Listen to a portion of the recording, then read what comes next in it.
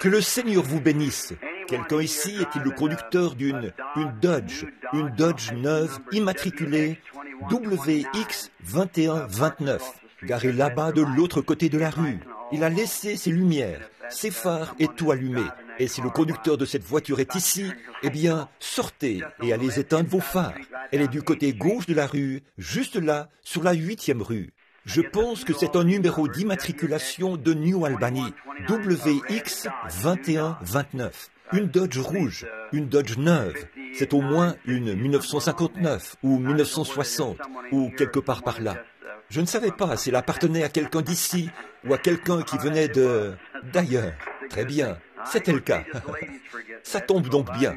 Bon, je ne peux pas dire qu'il n'y a que les femmes qui oublient ça, parce que ça m'arrive aussi. Eh bien, ça fait vraiment plaisir d'être de retour encore ce soir pour la réunion et de passer ensemble ces bons moments de communion autour de la parole. Est-ce que vous appréciez ça? Oh, c'est vrai, nous passons simplement de merveilleux, merveilleux moments. Maintenant, nous avons confiance que Dieu nous aidera à continuer. Bon, mon frère est venu placer un tableau ici, mais c'est, trop bas. Ce n'est pas assez haut. Alors demain, eh bien, je vais essayer de l'accrocher ici, de le soulever plus haut et de faire en sorte, je veux dessiner certaines choses que j'aimerais expliquer pour que vous puissiez bien, et je veux bien m'assurer que vous saisissiez vraiment cela. Il y avait, hier soir, ou c'était hier, ma petite fille, Sarah. J'ai trouvé ça plutôt mignon. Sa mère et moi regardions sa petite feuille de papier. Elle avait pris des notes de ma prédication. Elle avait tout noté correctement. Ésaïe, Matthieu et tout. Et tout au bas du, du papier, elle avait écrit Et, et la mort, la tombe n'a plus de victoire. La mort s'est fait arracher son aiguillon. elle a environ sept ans. Et au lieu d'écrire le livre des révélations, elle a dit le livre des révolutions. eh bien, en tout cas, ça montre que ça les intéresse et qu'ils essaient d'obtenir quelque chose, pas vrai? Je pense que la petite fille de frère Collins, qui est assise là au fond, a aussi écrit Révolution Frère Neville dit Jour des révolutions. Il est du même avis qu'elle. Je pense que nous devons tous le faire. Eh bien, nous passons vraiment un très bon moment. Oh, le Seigneur nous bénit vraiment. Ce matin, juste après avoir emmené les enfants à l'école, je suis allé étudier dans une pièce. Et je viens tout juste d'en sortir il y a quelques instants. J'y ai passé un moment merveilleux. Hier soir aussi, j'ai étudié jusqu'à très tard. Et vers 2h30 du matin, des gens sont venus du nord. Ils nous ont, ils m'ont fait lever pour prier pour une petite fille qui était mourante. Et je suis sûr que le Seigneur va lui permettre de se rétablir. Ils ont fait tout le trajet depuis Bedford dans l'Indiana pour demander que l'on prie pour la petite fille à ce moment-là. Il s'agit de deux hommes qui étaient à la réunion hier soir et qui ont fait tout le trajet jusque là-bas, puis tout le trajet pour revenir, et de nouveau tout le trajet du retour. Ils ont probablement conduit toute la nuit. Et donc, c'est bon de savoir que les gens ont une telle confiance et croient Dieu. Oh, ce jour où nous vivons est un jour glorieux. Nous nous attendons maintenant à apprendre davantage au sujet de ces âges de l'Église. Là, nous essayons de commencer un peu plus tôt chaque soir, afin de vous laisser partir de bonne heure. Préférez-vous cela? Ça permet aux gens qui doivent travailler de rentrer chez eux et de pouvoir aller au travail. Hier soir, nous sommes sortis vers 21h05 ou 10, mais au moins j'avais terminé. Eh bien, nous sommes heureux d'avoir tous ces ministres qui nous visitent ce soir. Et je, je, frère Junior Jackson, frère Carpenter, notre frère de l'église là-bas, et beaucoup d'autres qui sont ici sur l'estrade et dans la salle. On m'a dit aujourd'hui que de très précieux amis à moi, qui étaient avec moi dans les champs de mission, frère et sœur Andrew, venus du fin fond de la Chine, étaient à la réunion hier soir. Quel merveilleux moment nous avons passé ensemble en Jamaïque l'année dernière. Nous avons eu du bon temps. J'étais allé chez eux. Eh bien, si, je me demande si frère et sœur Andrew sont présents ici à la, à la réunion ce soir. Ce bâtiment n'est pas construit comme il faut. Alors, oui, ils sont assis tout au fond. Je me demande si vous voudriez bien vous lever, frère et sœur Andrew, juste un instant. Que le Seigneur vous bénisse. Nous sommes si heureux de vous voir, frère et sœur Andrew. Quand j'étais là-bas l'année dernière, je les invitais à venir ici. Maintenant, je ne le dis pas parce qu'ils sont présents. J'allais en dire plus, mais je ne le dirai pas maintenant. Mais ils sont ce que j'appelle de vrais missionnaires. S'ils viennent demain soir, je veux qu'ils prennent la parole ici, juste avant moi. Je veux que vous entendiez ce que signifie vraiment un chant de mission, de ces moments où ils se retrouvaient au fin fond de l'arrière-pays et qui n'avaient plus rien à... Eh bien, ils sont... Je pense qu'ils ont passé des années et des années et des années là-bas, sans jamais voir ne serait-ce qu'une voiture ou un train ou quoi que ce soit d'autre, pendant des années et des années. Et la sœur qui devait fabriquer leur pain avec, il lui fallait pétrir cela. Et bon, ça, ce sont de vrais missionnaires. Frère Andrew avait une aiguille et du fil. Il était médecin. Il les recousait quand il se coupait. Et je pense que quand l'enfant, des enfants devaient naître, Sœur Andrew servait probablement de sage-femme et frère Andrew de médecin. Il dépendait d'eux. Et alors, quand les missions de, de l'Angleterre, les missions pentecôtistes d'Angleterre, leur ont dit qu'ils étaient trop vieux pour retourner sur le champ de mission, pour vous dire à quel point ce sont de vrais missionnaires. Ils n'ont pas cherché à s'installer confortablement dans un fauteuil. Ils y sont retournés de leur propre chef, là-bas, en Jamaïque. Et c'est là qu'ils font du travail missionnaire en ce moment. Frère Fred Sothman et moi avons eu le privilège d'aller chez eux leur rendre visite. Que de beaux moments nous y avons passés. Des chrétiens aussi, aussi doux qu'on puisse l'être. Je vous le dis, je ne dis pas ça pour... Je préfère donner un petit bouton de rose maintenant, plutôt qu'une couronne après leur départ. Je vous le dis, ce sont de vrais chrétiens. J'ai dit à ma femme que sœur Andrew était l'une des chrétiennes les plus douces et gentilles que l'on puisse rencontrer. Elle est vraiment aussi, son caractère est façonné en Christ. Pareil pour frère Andrew. Donc, je suis sûr que si vous les avez vus, ceux qui viennent de se lever, j'aimerais que toute l'Église leur serre la main et qu'ils nous disent un mot avant leur départ. Bon, demain, si le Seigneur le veut, eh bien nous, demain soir, nous aborderons le deuxième âge de l'Église. Ce soir, nous abordons le premier âge de l'Église.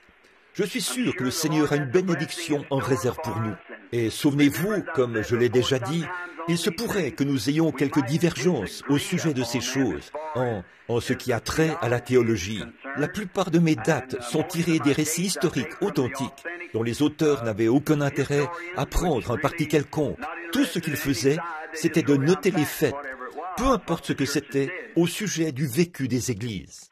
Et je, bien sûr, pour ce qui est de l'interprétation divine, j'essaie de la donner moi-même, du mieux que je peux. Et si de temps à autre, il m'arrive de parler durement ou sévèrement, ou quelque chose de ce genre, je ne le fais pas exprès. Ça, tout le monde, pour ceux qui me connaissent, sait que je ne le fais pas exprès. Je veux juste, mais pour que ça morde profondément, vous, c'est comme enfoncer un clou dans une planche. Si vous frappez juste légèrement là-dessus, il ne tiendra pas. Il vous faut l'enfoncer et le river pour qu'il tienne. C'est ce que j'essaie de faire. Ce n'est donc pas que je cherche à être en désaccord avec vous, puisque ma prédication s'adresse à toutes les dénominations et tout. Donc ce n'est pas ça. J'ai toujours dit que c'est comparable au marquage du bétail.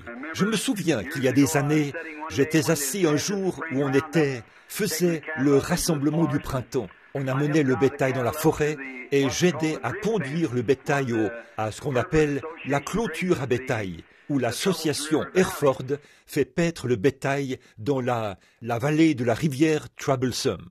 Et j'étais assis là, la jambe par-dessus le pommeau de la selle, à regarder l'inspecteur alors qu'il examinait le bétail au fur et à mesure qu'il passait la clôture. Là, vous devez avoir, c'est que pour pouvoir être admis sur les terres du gouvernement, il faut être capable de produire une tonne de foin par tête de vache que l'on veut faire paître dans ce pâturage-là. Et si chaque ranch produit une certaine quantité de foin, cela correspondra à une certaine quantité de bêtes qui peuvent y paître. Ainsi, le bétail qui passait par là portait différentes marques. Certaines bêtes arboraient la marque Bar X. Monsieur Grimm, qui était juste à côté de nous là-bas, possédait les Diamond T, un T à côté d'un diamant. Il y avait les Lazy K, juste en amont de la rivière Troublesome. Nous, c'était des Turkey Track. Juste en dessous de nous, c'était des Tripods. Toutes sortes de marques passaient par cette porte. J'avais remarqué que l'inspecteur ne prêtait jamais beaucoup d'attention à ces marques. Il ne les regardait jamais. Parfois, elles se trouvaient du côté gauche de la vache. Donc, il ne pouvait pas voir la marque. Donc, ce, n'était pas la marque qu'il surveillait. Mais il y a une chose qu'il vérifiait vraiment, c'est qu'aucune vache ne puisse passer là-bas à moins d'avoir une étiquette du sang à l'oreille. Il fallait que ce soit une Hereford, pur sang, sinon elle ne pouvait pas accéder à cette forêt. La marque ne comptait pas tant, mais c'était l'étiquette du sang. Et je pense qu'il en sera ainsi au jugement. Ce ne sera pas la marque que nous portons, mais il cherchera à voir l'étiquette du sang. Quand je verrai le sang, je passerai par-dessus. Bon, est-ce que je suis mal placé, Jean? Oui Il y a de l'écho? Très bien. C'est une transposition entre les deux, n'est-ce pas? Très bien. Merci, Fred Jean. Très bien. Maintenant, nous allons essayer de sortir encore tôt ce soir pour pouvoir revenir demain soir et parler de ces âges. Et je vous le dis, c'est tellement difficile pour moi de retenir certaines de ces grandes choses que nous verrons un peu plus loin dans cette étude. J'ai envie d'apporter tout cela en une soirée. Vous savez, c'est en quelque sorte ma nature, mais nous devons nous retenir un peu jusqu'au prochain soir. Maintenant, juste avant que nous commencions à ouvrir le grand livre, je me demande si nous pourrions nous lever un instant pour changer de position, alors que nous nous levons ceux qui le peuvent. Courbons solennellement la tête maintenant pour un mot de prière.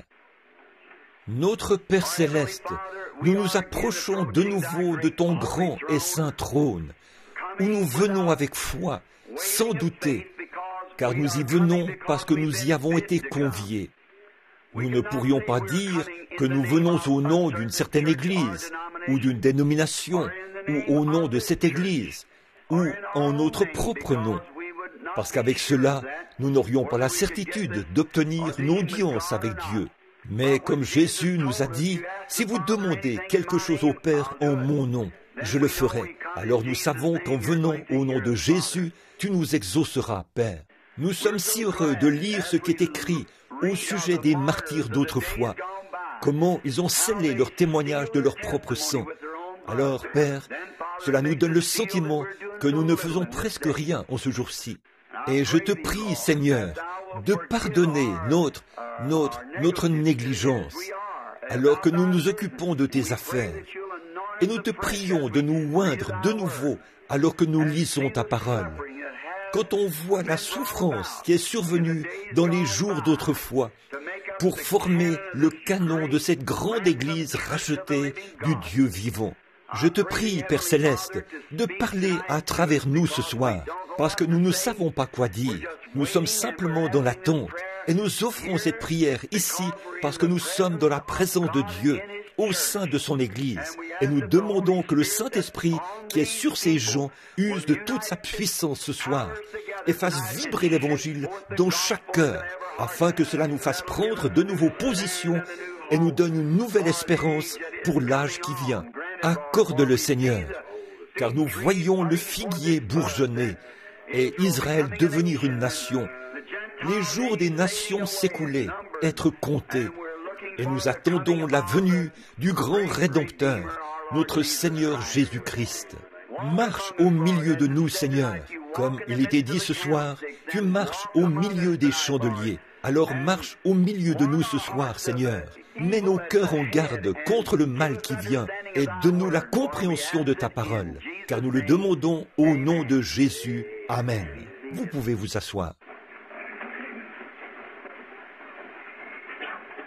Bon, comme je l'ai dit, chaque jour, j'essaie de noter sur du papier autant d'informations que possible par rapport aux dates, aux lieux et tout, parce que ce sont des événements historiques que nous abordons. C'est de l'histoire. Et maintenant, nous parcourons cela en la faisant correspondre aux différentes périodes. Bon, dimanche matin et dimanche après-midi, ou plutôt dimanche soir, nous avons passé de glorieux moments. J'en suis certain. C'était le cas pour moi. Quant à la révélation, maintenant, qu'est-ce que nous étudions? La révélation de Jésus-Christ. Qu'avons-nous découvert au sujet de la révélation que Dieu a montrée et qui il était? La première chose que nous découvrons parmi toutes les révélations, c'est que Dieu a fait connaître qui il était que Jésus n'était pas la troisième personne d'une Trinité, il était la Trinité tout entière. Il était à la fois Père, Fils et Saint-Esprit. Et ça, c'était la révélation, Il est dit quatre fois dans le même chapitre qu'il était le Dieu Tout-Puissant, celui qui était, qui est et qui vient. Le rejeton est la postérité de David. Nous voyons donc maintenant qu'en parcourant ceci, nous allons essayer de rendre tout ça clair. Parce que je ne sais pas quand nous en entendrons encore parler. Peut-être jamais, jusqu'à ce que le temps ne soit plus, qu'il fonde dans l'éternité. Bon, comme je l'ai déjà dit, il y a peut-être beaucoup de frères, des enseignants beaucoup plus aptes à parler de ces choses que moi, et qui pourraient probablement en avoir une meilleure interprétation. Mais Dieu m'a mis à cœur de le faire. Je serais donc un hypocrite si je ne disais pas exactement ce que je pense être juste. Voyez Alors, je, je veux toujours être irréprochable devant Dieu, en tout temps, parce que je n'ai rien caché. Comme Paul l'a dit, je vous ai exhorté jour et nuit avec larmes, afin que l'Église soit alors trouvée prête. Si quelqu'un est perdu, que son sang ne soit pas sur mes mains, parce que je veux être pur du sang de tout homme ce jour-là. Donc, si vous n'êtes pas d'accord, eh bien, faites-le simplement de façon amicale, et ça sera très bien. Bon, mais peut-être que le Seigneur révélera quelque chose qui nous aidera, nous tous. Maintenant, tout d'abord, nous voyons qu'il s'est révélé. Nous comprenons maintenant qui il était. Bon, avant d'aller plus loin, puisque j'ai déclaré que l'aspersion et le baptême au nom de Père, Fils, Saint-Esprit est un baptême catholique et non un baptême protestant ou un baptême selon le Nouveau Testament. J'espère avoir été clair là-dessus. J'ai demandé à quiconque de me montrer un passage de l'Écriture où qui que ce soit a été baptisé dans la Bible ou avant le concile de la Odyssée où ils ont créé l'Église catholique ou qui que ce soit a été baptisé au nom de Père, Fils, Saint-Esprit, de bien vouloir venir me le montrer. Et j'écrirai dans mon dos un faux prophète et j'irai dans la rue.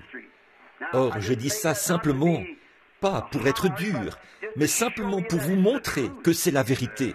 Voyez, maintenant, la Bible le révèle donc ici comme étant le Dieu Tout-Puissant, fait chair parmi nous. Voyez, non pas Père, Fils et Saint-Esprit. Il ne s'agit pas de trois dieux ou d'un Dieu coupé en trois morceaux. C'est un seul Dieu qui a œuvré dans trois fonctions.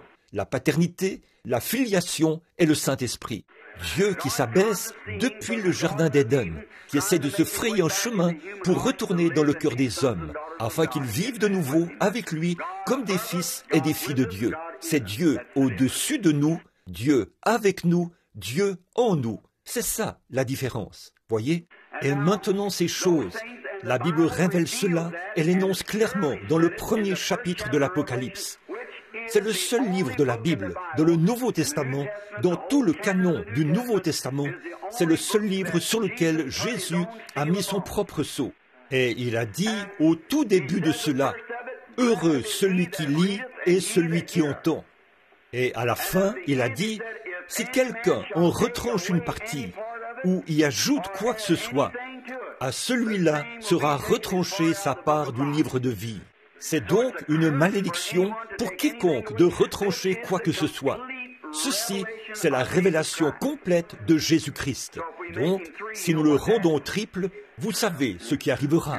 Voyez, votre nom sera retranché. Et personne, aucun protestant, aucune église primitive n'a jamais cru en trois dieux. C'était un grand enjeu au concile de Nicée. Et les deux camps ont pris des branches latérales dans cette direction-ci, pour ainsi dire.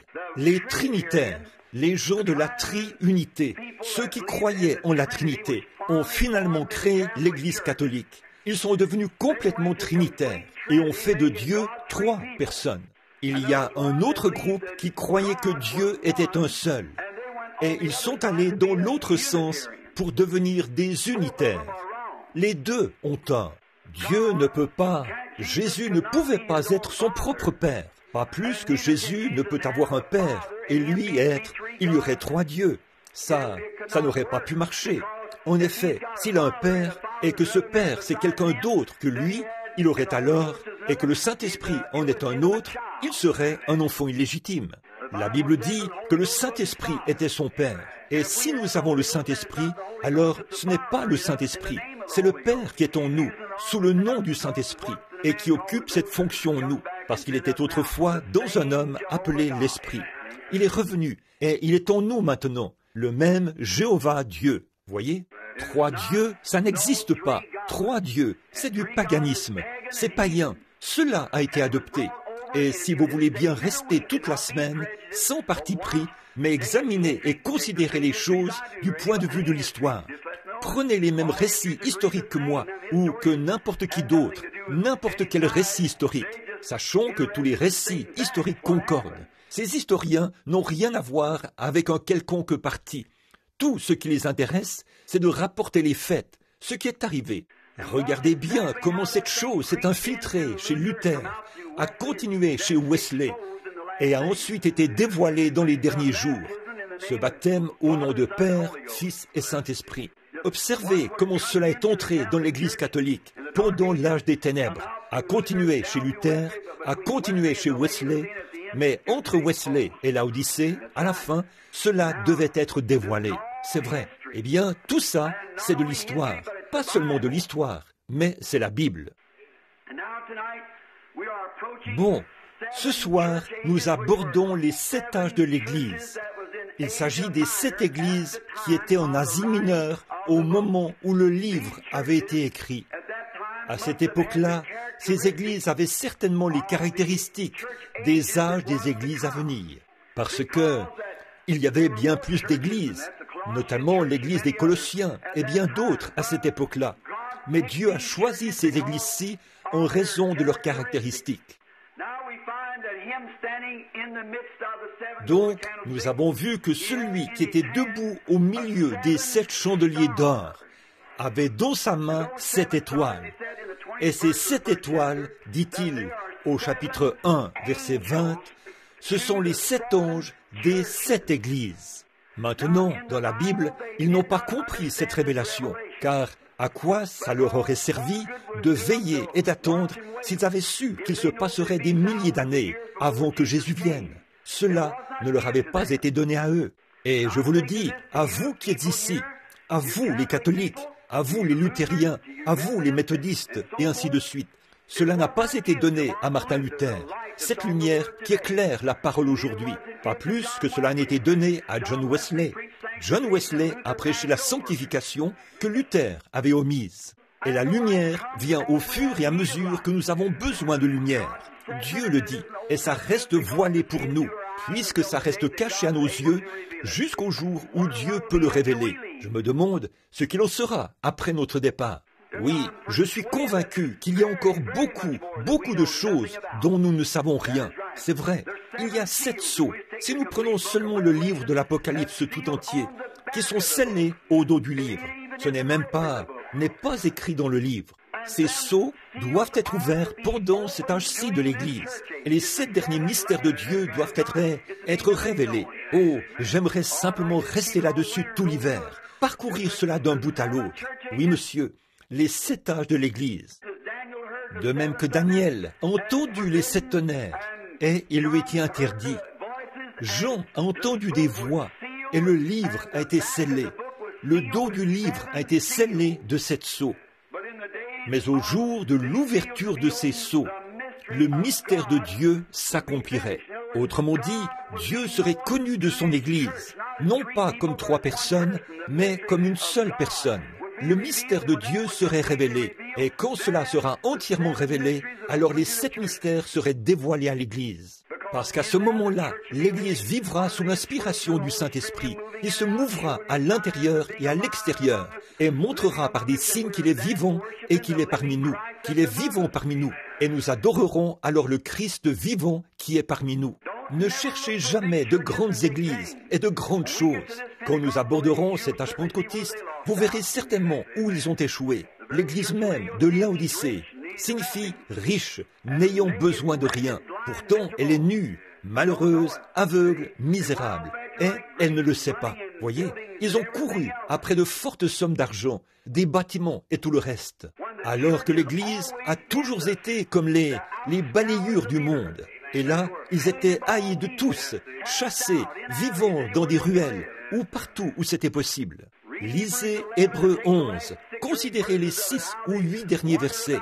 Et voyez comment ils erraient ça et là dans les déserts, et, vêtus de peau de brebis et de peau de chèvre, dénués de tout, affligés, maltraités. Ces gens-là, que vaudra notre témoignage face au leur au jour du jugement? Voyez, les gens de ce ton-là. Maintenant, quant à cet âge de l'Église, nous avons cette Église. Maintenant, je veux placer cela pour que ce soit bien visible. Je ne pense pas que vous puissiez le voir d'ici.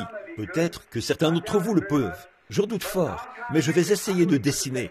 Je savais que vous ne le pouviez pas, vous qui êtes assis ici, de dessiner les sept âges de l'Église. Je vais le tenir à la main pour que vous puissiez comprendre. Cela a commencé, l'Église a commencé à la Pentecôte. Quelqu'un pourrait-il nier cela? Non, monsieur. L'Église a commencé à la Pentecôte avec une bénédiction de Pentecôte. Et elle a été établie par Jésus-Christ pour continuer jusqu'au dernier jour avec le même message et la même bénédiction qui offre en nous. Sa dernière commission à son Église, Marc 16, aller par tout le monde prêcher l'Évangile. Voici les signes qui accompagneront ceux qui auront cru. Maintenant, où ça? Par tout le monde. À qui? Toute la création. Noir, brun, jaune, blanc, quelle que soit la créature, prêchez l'Évangile à toute la création. Voici les signes qui accompagneront ceux qui auront cru. Maintenant, ce soir, nous allons juste effleurer cela. Nous allons commencer à tailler là-dedans ce soir. Chaque soir, nous allons en tailler un plus gros morceau, jusqu'à ce que nous arrivions à notre propre âge de l'Église. Maintenant, nous voyons que ça, c'était sa commission. Donc, le premier âge de l'Église, c'était l'Église d'Éphèse. Le deuxième âge de l'Église, c'était Smyrne. Le troisième âge de l'Église, c'était Pergame. Le quatrième âge de l'Église, c'était Thyatire. Le cinquième âge de l'Église, c'était Sardes. Le sixième âge de l'Église, c'était Philadelphie. Et le septième âge de l'Église, c'était Laodicée. Maintenant, le premier âge de l'Église a commencé vers l'an 53 après Jésus-Christ, quand Paul a établi l'Église à, à Éphèse. Au cours de son voyage missionnaire, il a établi l'église à, Éphèse, l'église d'Éphèse, et il en était le pasteur jusqu'à sa décapitation en 66, ce qui fait qu'il a été le pasteur de l'église d'Éphèse pendant environ 22 ans. Après sa mort, il nous est rapporté que Paul, ou l'apôtre Jean, en est devenu le pasteur et a continué de l'être jusqu'à cet âge-là et l'âge de l'Église s'est prolongé jusqu'en 170. Puis, après l'âge de l'Église d'Éphèse, de 53 après Jésus-Christ à 170 après Jésus-Christ, l'âge de l'Église de Smyrne, qui a duré de 170 après Jésus-Christ à 312 après Jésus-Christ, a pris le relais. Ensuite est arrivé l'âge de l'église de Pergame. L'âge de l'église de Pergame a commencé en 312 et a duré jusqu'en 606 après Jésus-Christ. Ensuite est arrivé l'âge de l'église de Thyatire. L'âge de l'église de Thyatire a commencé en 606 et a duré jusqu'en 1520, l'âge des ténèbres. Ensuite, l'âge de l'église de Sardes a commencé en 1520 et a duré jusqu'en 1750 l'âge luthérien. Puis, à partir de 1750, l'âge suivant, c'était celui de Philadelphie, l'âge de Wesley. Il a commencé en 1750 et a duré jusqu'en 1906. Et en 1906, l'âge de l'église de Laodicée a commencé. Et je ne sais pas quand il va se terminer, mais je prédis que ce sera terminé d'ici 1977. Je prédis ce n'est pas le Seigneur qui me l'a dit, mais je le prédis selon une vision qui m'a été montrée il y a quelques années, dont cinq choses se sont, sur les sept, se sont déjà accomplies. Environ combien dans l'Église se souviennent de cette vision? Certainement. Cela avait même dit que Kennedy serait élu lors de cette dernière élection, que les femmes obtiendraient le droit de vote, que Roosevelt entraînerait le monde dans une guerre, que Mussolini irait en Éthiopie, sa première invasion, et s'en emparerait, que ce serait sa fin, et qu'il mourrait après ça, que ces grands ismes s'élèveraient et finiraient tous dans le communisme. l'hitlérisme, Mussolini et le corps, le nazisme et tout finiraient tous dans le communisme. Onze ans avant que ça arrive, cela avait dit que nous entrerons en guerre contre l'Allemagne et l'Allemagne sera fortifiée derrière du béton, la ligne Maginot. Ça s'est accompli exactement comme ça. Puis, cela a dit qu'après ça, on en arriverait là où il arrivera que la science fasse de si grands progrès qu'on inventerait une voiture, des voitures qui prendraient de plus en plus la forme d'un œuf. Et cette vision a été racontée ici même où l'église de Christ se trouve maintenant, à l'ancien mais orphelinat. Charlie Kern, qui est peut-être dans le bâtiment ce soir, habitait à cet endroit à l'époque. Ça s'était produit un dimanche matin vers 7 heures. Cela avait dit, puis il arrivera qu'ils inventent une voiture qui n'aura pas besoin de volant et qui sera guidée par une sorte de puissance. On l'a maintenant, on l'a maintenant. C'est une puissance magnétique de guidage par radar. Ils n'ont même pas, vous programmez simplement votre radar selon l'endroit où vous allez. Cela vous y amène sans que vous ayez besoin de conduire. Bon, il y était dit, en ce temps-là, une femme puissante s'élèverait aux États-Unis. Elle était bien habillée et ravissante, mais elle était cruelle dans son cœur. Au sujet de cette vision, j'ai écrit entre parenthèses, sur du papier jaune, j'ai écrit, c'est peut-être l'Église catholique. Le fait que les femmes aient obtenu le droit de vote contribuerait à l'élection de la mauvaise personne pour ce pays. Et c'est ce qui s'est produit. Tout à fait. Maintenant, cela a dit, c'est juste le début. Maintenant, une autre chose que cela disait, c'est que, puis tout juste après cela, j'ai vu cette nation devenir comme un tas de braises, complètement réduite en pièces par une explosion. Eh bien, si ces choses sont arrivées, celle-ci arrivera aussi. Nous sommes à... C'est la raison pour laquelle je suis ici ce soir, pour essayer d'apporter ceci et le présenter aux gens à Jeffersonville, puisque je me prépare à repartir dans les champs missionnaires très bientôt. Et je ne sais pas à quel moment je pourrais être rappelé ou enlevé. Je, je, ça, nous ne le savons pas. Et je veux être sûr que je suis, que l'Église sache l'heure où elle vit, parce que le Dieu Tout-Puissant m'en tiendra responsable. Maintenant, maintenant, chacune de ces églises, selon l'écriture, là, avait un ange. Et l'ange était un, Combien savent ce que signifie un ange? C'est un messager, un messager. Et il, il y avait sept anges pour les sept églises, c'est-à-dire sept messagers. Maintenant, ils étaient des étoiles dans sa main. Dans sa main, ces, ces douze, ces sept étoiles étaient censées réfléchir la lumière de sa présence au temps du soir où nous vivions. Comme les étoiles réfléchissent le soleil sur la terre, pour l'éclairer afin que nous puissions marcher et nous déplacer la nuit. Bon, nous voyons alors que pendant ce temps, chacun de ces anges avait une position et une place. Et frères, ce soir, nous n'aborderons pas cela, parce que nous connaissons cet ange de la première Église. Mais ce sera une chose mystérieuse et glorieuse que de sonder l'histoire et d'en faire ressortir devant vous les anges de ces autres églises. Paul était l'ange de la première Église. C'est lui, le messager de Dieu, qui l'avait fondé. L'ange de l'église d'Éphèse. C'était Paul. L'église, bon, la raison pour laquelle je... Bon, pour les autres, vous pourriez ne pas être d'accord. Mais je suis resté là pendant des jours et des jours sous l'inspiration, jusqu'à ce que je sente le Saint-Esprit descendre sur moi, et moindre pour cela. C'est pour ça que je le sais. Observez ces hommes qui ont été choisis. Si vous êtes historien, ils, tous ces hommes que j'ai ici et que je sais par révélation qu'ils étaient les anges de l'Église avaient le même ministère que ceux du début. Et ce ministère ne peut pas changer. Ça doit rester celui de la Pentecôte du début à la fin. Maintenant, les historiens qui sont assis ici ne seront pas d'accord avec moi au sujet de cet homme. Mais pour l'église de Smyrne, je sais que c'est Irénée qui était l'ange de ce jour-là. Polycarpe, beaucoup d'entre vous diront que c'était plutôt Polycarpe. Vous diriez que c'était lui. Mais Polycarpe penchait plus vers l'organisation et le catholicisme, qui était la religion montante. Mais Irénée était un homme qui parlait en langue, qui avait la puissance de Dieu, et des miracles l'accompagnaient. Il était l'ange de la lumière de Dieu, et il a continué à porter la lumière après la crucifixion ou le meurtre, l'assassinat de Polycarpe.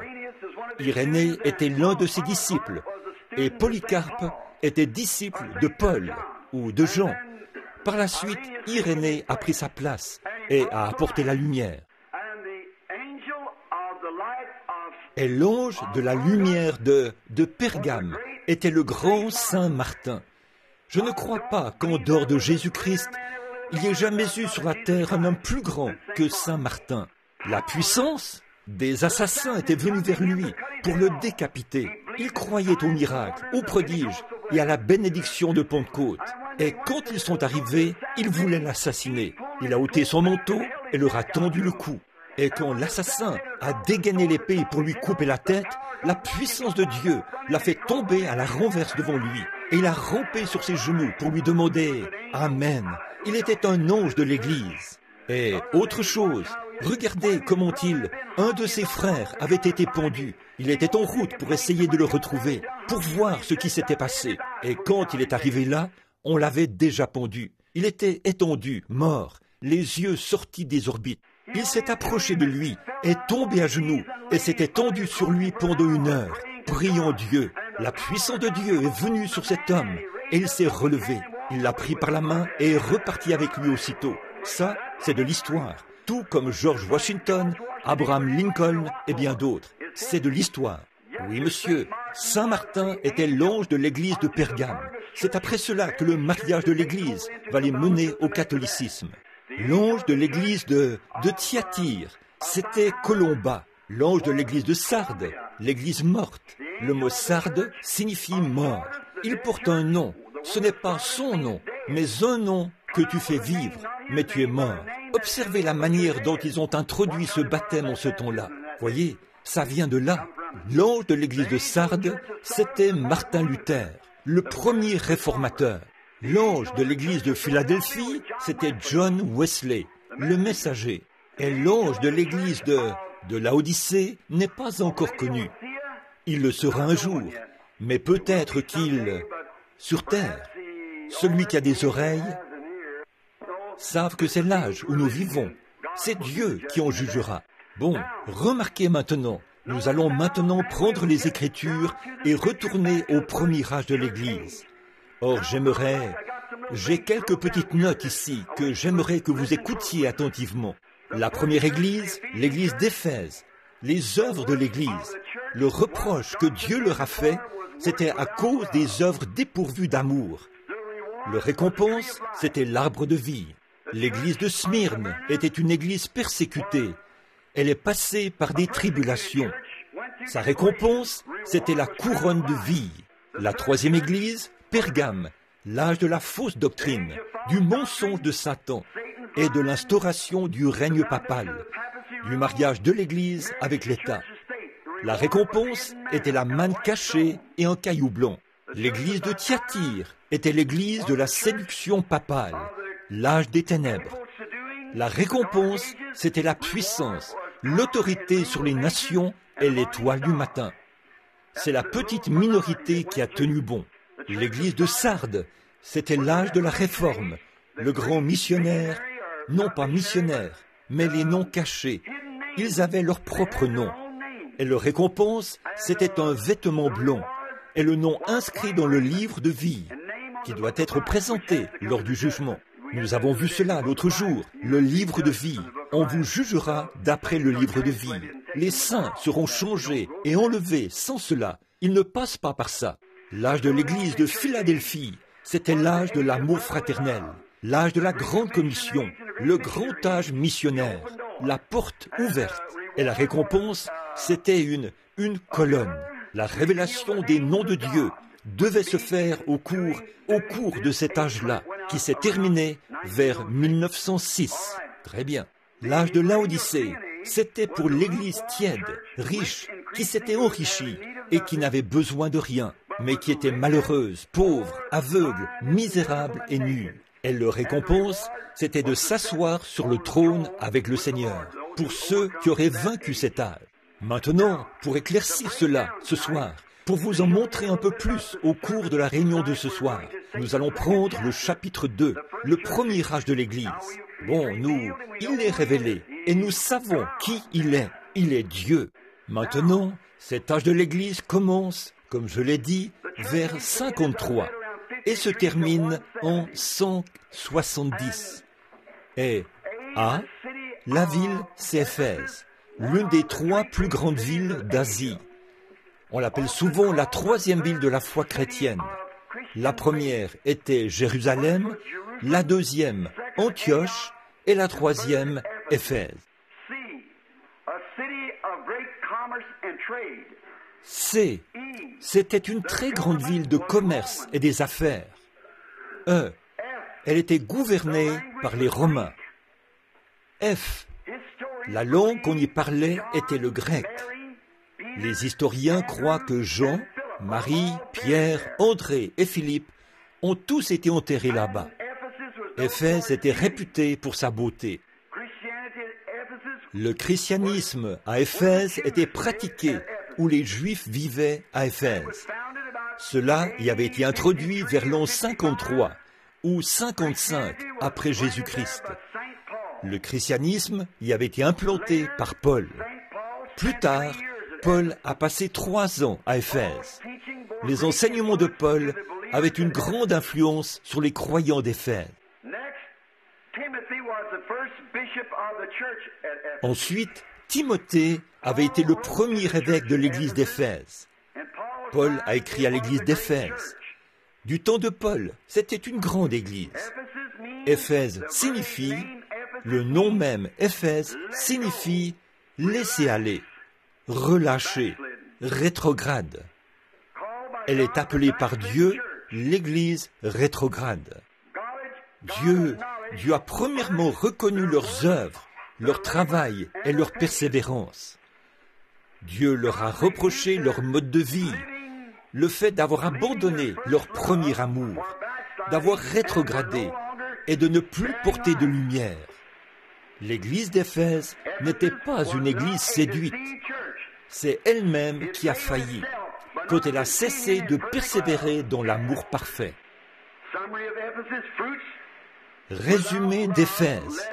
Les fruits sans l'amour ont conduit à l'apostasie. Les promesses, le paradis est promis aux vainqueurs, au sein d'Éphèse, de cet âge de l'Église. Ils auront part à l'arbre de vie. Voici quelque chose de très beau. L'arbre de vie est mentionné trois fois dans la Genèse et trois fois dans l'Apocalypse. La première fois qu'il était mentionné dans, dans la Genèse, c'était en Éden. Et cet arbre, c'était Christ. Les trois fois où il était mentionné dans l'Apocalypse, c'était Christ au paradis. Oh, que c'est riche. Que le Seigneur soit béni. Maintenant, nous allons commencer le chapitre 1 d'Éphèse, ou le chapitre 2, verset 1, l'église d'Éphèse. Écris à l'ange de l'église à Éphèse. Voici ce que dit celui qui tient les sept étoiles dans sa main droite, celui qui marche au milieu des sept chandeliers d'or. Jean était le, le messager à ce moment-là. Jésus-Christ, le Dieu Tout-Puissant, marche au milieu de ces sept chandeliers d'or. Qu'est-ce qu'il fait? Il n'a pas dit qu'il marche avec un seul chandelier. Il marche au milieu de tous. Qu'est-ce que cela indique? Qu'il est le même Dieu hier, aujourd'hui et éternellement, dans chaque âge de l'Église et pour chaque croyant. Il vient dans, avec le Saint-Esprit dans chaque âge et à chaque personne. Le même hier, aujourd'hui et éternellement. Il tient dans sa main droite. La main droite signifie son autorité et sa puissance. Il tient dans sa main droite, sous son contrôle, les sept messagers des sept âges de l'Église. Oh, j'aime cela, le voir marcher tout au long de ces âges de l'Église. Christ, qui se fait connaître à son peuple tout au long de l'âge des ténèbres, tout au long de chaque âge, alors que l'Église devenait formaliste et se disloquait, et que les uns allaient d'un côté et les autres d'un autre. Cette petite minorité de l'Église a tenu bon, et Christ travaillait avec eux, confirmant sa parole. Il la guidait à travers toutes ces choses. C'est tellement facile de voir comment nous en sommes arrivés à ce que nous avons aujourd'hui, quand on se met à étudier ceci. Maintenant, ici, au début, je crois que vous pouvez tous voir à cette hauteur Voici un âge de l'Église, c'est la Pentecôte. Le deuxième âge de l'Église, le troisième, le quatrième, le cinquième, le sixième, le septième âge de l'Église. Maintenant, si vous regardez attentivement, l'Église commence à la Pentecôte. Combien croient cela Vous voyez ce qui s'est passé à la Pentecôte? Ensuite, nous voyons l'Église perdre continuellement du terrain. Elle commence à décliner un peu plus, encore plus, toujours plus. Un petit peu, ça décline comme ça au fur et à mesure que la véritable Église diminue. Maintenant, Christ, peu importe combien petite est l'Église, là où deux ou trois sont assemblés en mon nom, je serai au milieu d'eux. Quand ils sont assemblés, en quoi? Au nom des méthodistes Au nom des baptistes Au nom des pentecôtistes Au nom de Jésus. Là où deux ou trois sont assemblés, peu importe combien ils sont peu nombreux, et ils seront si peu nombreux dans les derniers jours qu'il a dit qu'il va devoir venir rapidement et abréger l'œuvre, sinon nulle chair ne serait sauvée pour l'enlèvement. Là où deux ou trois sont assemblés en mon nom. Maintenant, la première génération, les apôtres, là nous voyons que c'est le début, la Pentecôte. Voici qu'il marche là, le même grand Dieu, les mêmes grands miracles devaient se produire tout au long de ces âges, parce qu'il marchait au milieu de chaque âge, bénissant quoi? Son peuple, qui est assemblé en son nom. Je veux que vous observiez ceci alors qu'on fait l'étude de l'Église. Cette Église-ci avait le nom de Jésus. Cette Église-ci avait le nom de Jésus. Cette Église-ci avait le nom de Jésus. Et cette Église-ci l'a perdu. Cette Église-ci est sortie, l'âge luthérien, qui a un nom que tu fais vivre, mais tu es mort. Et cela continue jusqu'à la fin de cet âge-ci. Et entre cet âge-ci et cet âge-ci, il y a une porte ouverte qui ramène de nouveau ce nom dans l'Église. Maintenant, regardez et voyez si c'est la vérité, après que nous l'aurons vu ici dans les Écritures. Là, entre ces, ces âges. Bon, demain soir, j'essayerai de faire installer cela ici en haut afin que nous puissions tous le voir. Je viendrai peut-être demain après-midi dessiner pour certains des, schémas dont je veux vous parler. Et s'il y en a parmi vous qui possèdent les récits historiques, apportez-les. Ou prenez des notes, puis allez à la bibliothèque ou ailleurs. Vous procurez les récits historiques et lisez-les pour voir si ceci est vrai. Maintenant, le verset 1. Que fait-il? Il leur adresse une salutation, écrit à, à l'ange de l'église d'Éphèse, à Jean. Voici ce que dit celui qui tient les sept étoiles dans sa main droite, celui qui marche au milieu des sept chandeliers d'or. C'est une salutation. Maintenant, au verset 2 et au verset 3, il les félicite. Je connais tes œuvres, tes travaux et ta persévérance. Je sais que tu ne peux supporter les méchants, que tu as éprouvé ceux qui se disent apôtres et qui ne le sont pas, et que tu les as trouvés menteurs. Voyez, l'apostasie avait déjà commencé à s'installer dans ce premier âge. Cela avait commencé déjà en ce temps-là, parce que les élus, la véritable Église qui voulait garder les préceptes de la Bible et garder les paroles que Jésus avait prononcées dans son témoignage, ils avaient déjà commencé à se retirer. Quelque chose a commencé à se produire. De faux enseignants se sont élevés, des gens qui enseignaient des choses fausses, contraires aux Écritures, qui essayaient d'introduire quelque chose ou d'ajouter quelque chose. C'est pour cela qu'il a donné cette révélation à l'Église et a dit, quiconque en retranche ou y ajoute, sa part sera retranchée du livre de vie. Ça veut dire être perdu, frère. Ne touchez pas à la parole de Dieu, peu importe qui elle blesse ou ce qu'elle blesse. Proclamez-la quand même, exactement comme elle est écrite ici. C'est ainsi qu'il faut le faire. Nous n'avons pas besoin d'un super quelque chose d'autre. Nous n'avons pas besoin de prêtres ou de quoi que ce soit pour nous l'interpréter. C'est Dieu, le Saint-Esprit, qui est l'interprète. C'est lui qui en donne l'interprétation. Maintenant, si vous remarquez, ils se sont détournés des méchants et ont découvert les faux prophètes, après qu'il ait été prouvé qu'ils étaient faux, bien qu'ayant l'apparence de la piété. Vous voyez comment l'Église a commencé à devenir formaliste pendant cette période Ils se sont en quelque sorte mis à nuire à ceux qui étaient sous l'inspiration du Saint-Esprit. se sont mis à inciter les gens à se moquer en quelque sorte des gens. Eh bien, Jésus n'a-t-il pas dit, Heureux serez-vous lorsqu'on vous persécutera à cause de la justice Il n'a jamais dit de commencer à devenir formaliste. Il a dit, Réjouissez-vous et soyez dans l'allégresse, car c'est ainsi qu'on a persécuté les prophètes qui ont été avant vous. Il a dit cela, c'est dans les béatitudes, dans Matthieu 5. Heureux serez-vous. Eh bien, avoir des gens qui se moquent de vous parce que vous aimez le Seigneur Jésus, le simple fait de les voir agir ainsi, c'est une bénédiction. Ils ne font que, quand ils vous insultent, ils font descendre sur vous les bénédictions de Dieu. Ça se retourne contre eux, comme il en avait été pour Balaam autrefois. Ça, ça se retourne contre eux. Quand ils essaient de se moquer de vous, parce que vous êtes chrétien, eh bien, ça se retourne contre eux, et Dieu envoie une bénédiction, car heureux serez-vous lorsqu'on vous persécutera à cause de mon nom, à cause de son nom. Heureux serez-vous.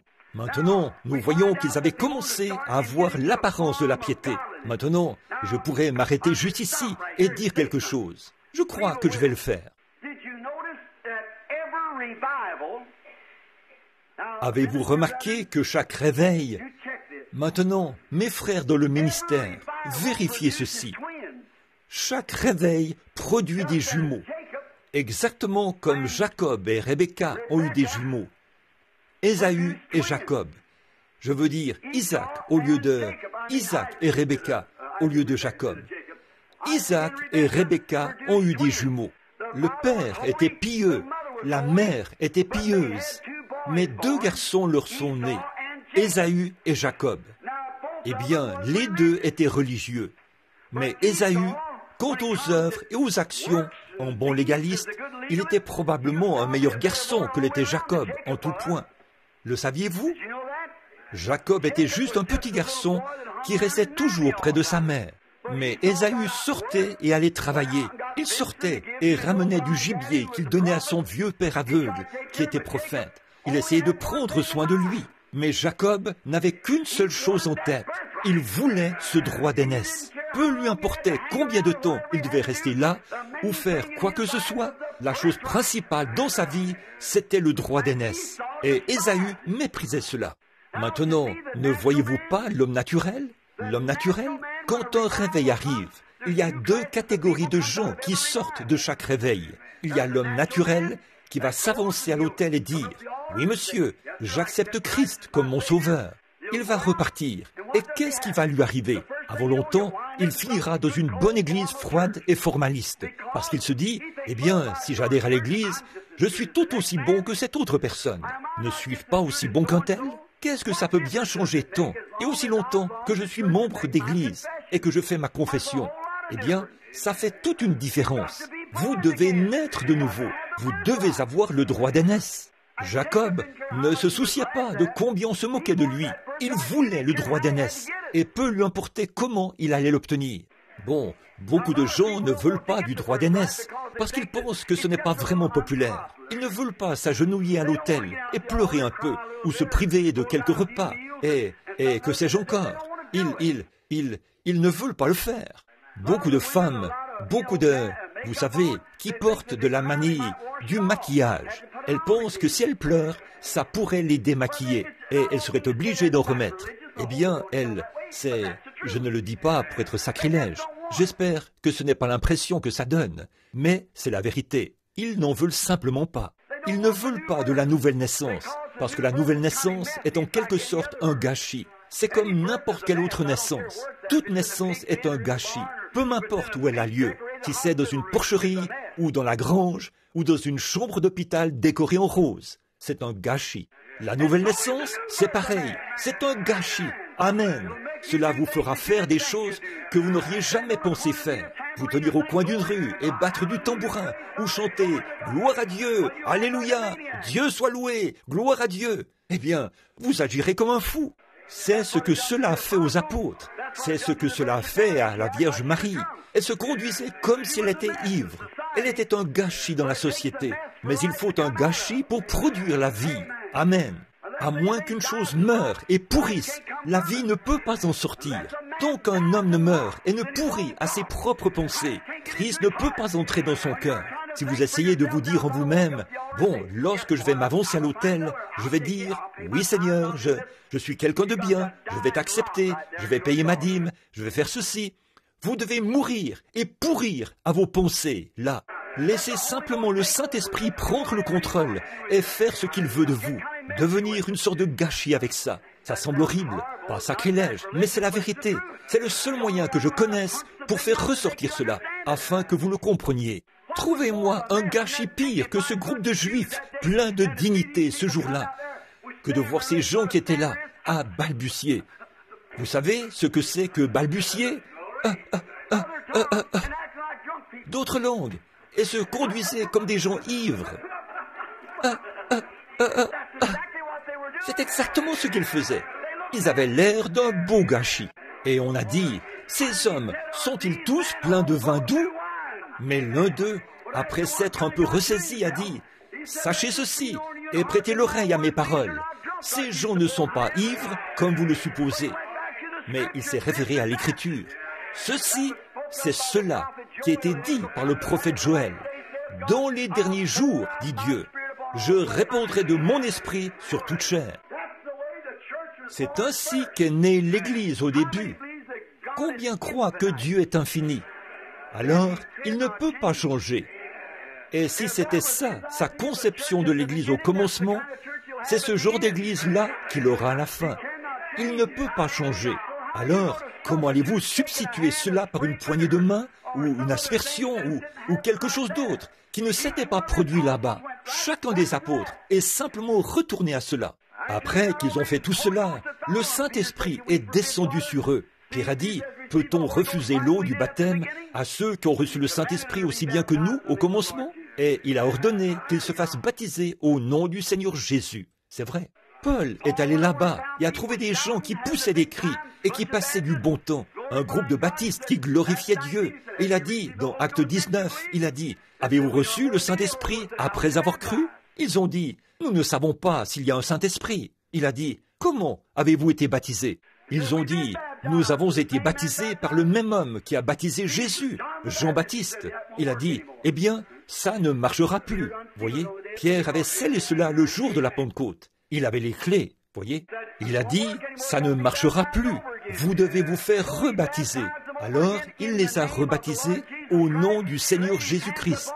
Il leur a imposé les mains elles ont eu le même genre de résultat qu'eux avaient eu au commencement. Le Saint-Esprit est descendu sur eux. Ils se sont mis à parler en langue et à prophétiser. Maintenant, voilà comment l'Église a été tout au long des âges. Donc, cela a commencé ici même au commencement. Je connais ta persévérance, ta grande patience. Je sais que, maintenant, souviens-toi, je suis celui qui marche au milieu des chandeliers. Je connais ta persévérance, tes œuvres, ton travail, ton amour, et ainsi de suite. Je sais tout ce que tu as fait. Et je sais que tu as éprouvé ces gens qui se disent prophètes, apôtres, et que tu les as trouvés menteurs. Oh, c'est vraiment direct, n'est-ce pas? Je n'en suis pas responsable, c'est lui. C'est lui qui a dit qu'ils étaient des menteurs. Mais la Bible a dit, éprouvez un homme. S'il y a parmi vous quelqu'un qui est spirituel ou prophète, ou qui prétend l'être, moi, le Seigneur, je me ferai connaître à lui. Je lui parlerai par des visions et des songes. Et si ce qu'il y arrive, alors écoutez-le. N'ayez pas peur de lui, voyez, parce que je suis avec lui. Mais si cela n'arrive pas, alors ne l'écoutez pas. Il n'a pas ma parole. Voyez, si c'est sa parole, cela arrivera. Maintenant, ils ont trouvé que ces hommes ne se conduisaient pas selon la Bible. Voyez, ils essayaient d'obtenir quelque chose d'autre. Je veux que vous fassiez travailler vos ménages, alors que nous en arrivons à la pépite dans quelques instants. Bon, ensuite il a dit, je vois ce que tu, que tu as de la patience, de la persévérance, et envers eux, tu les as éprouvés, et tu as trouvé qu'ils ne sont pas des apôtres. Ils ne le sont pas. Maintenant, comme je l'ai dit au début, avant que nous reprenions cela, chaque réveil produit des jumeaux. L'un est un homme spirituel, l'autre est un homme naturel, terrestre. J'ai adhéré à l'Église, je suis aussi bon que n'importe qui. C'est ce que ce réveil a produit. C'est ainsi pour chaque réveil. C'est ce que celui de Luther a produit, c'est ce que celui d'Irénée a produit, c'est ce que celui de Saint-Martin a produit, c'est ce que celui de Colomba a produit, c'est ce que celui de Wesley a produit, c'est ce que la Pentecôte a produit. C'est exactement cela. Vous voyez comment ils se sont dégradés? Ils ont bâti leurs églises, de grandes et belles bâtisses, et se sont continuellement éloignés. Et, oh miséricorde, ils se lèvent et récitent le credo des apôtres. Je crois à la Sainte Église catholique romaine et à la communion des saints. Toute personne qui croit à la communion des saints est un spirit. Tout ce qui communie avec les morts est du diable. C'est tout à fait vrai. Nous avons un seul médiateur entre Dieu et l'homme.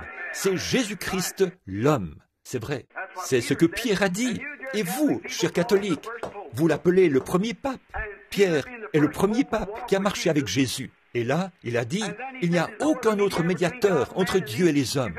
Et aujourd'hui, vous en avez dix mille autres. Pourquoi cela a-t-il tant changé Si l'Église est infaillible et qu'elle ne change pas, et toutes vos messes sont dites en latin, pour qu'il n'y ait pas de changement, qu'est-ce qui s'est passé Où trouvez-vous le credo des apôtres dans la Bible Si les apôtres avaient un credo, c'était Repentez-vous et que chacun de vous soit baptisé au nom de Jésus-Christ pour le pardon de vos péchés. Je n'ai jamais entendu dire qu'ils connaissaient d'autres credos ou qu'ils aient déjà récité autre chose.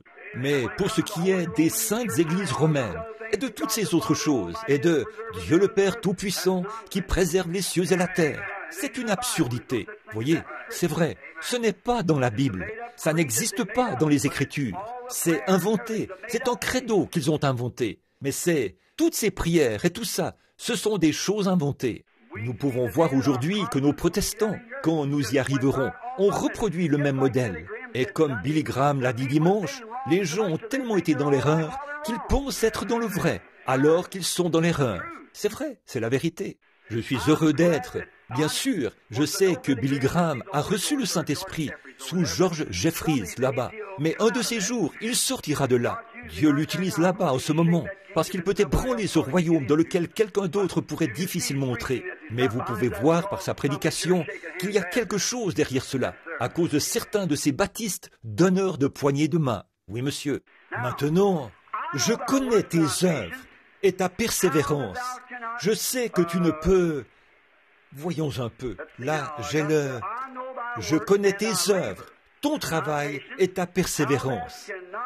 Je sais que tu ne peux supporter les méchants, que tu as éprouvé ceux qui se disent apôtres et qui ne le sont pas, et que tu les as trouvés menteurs.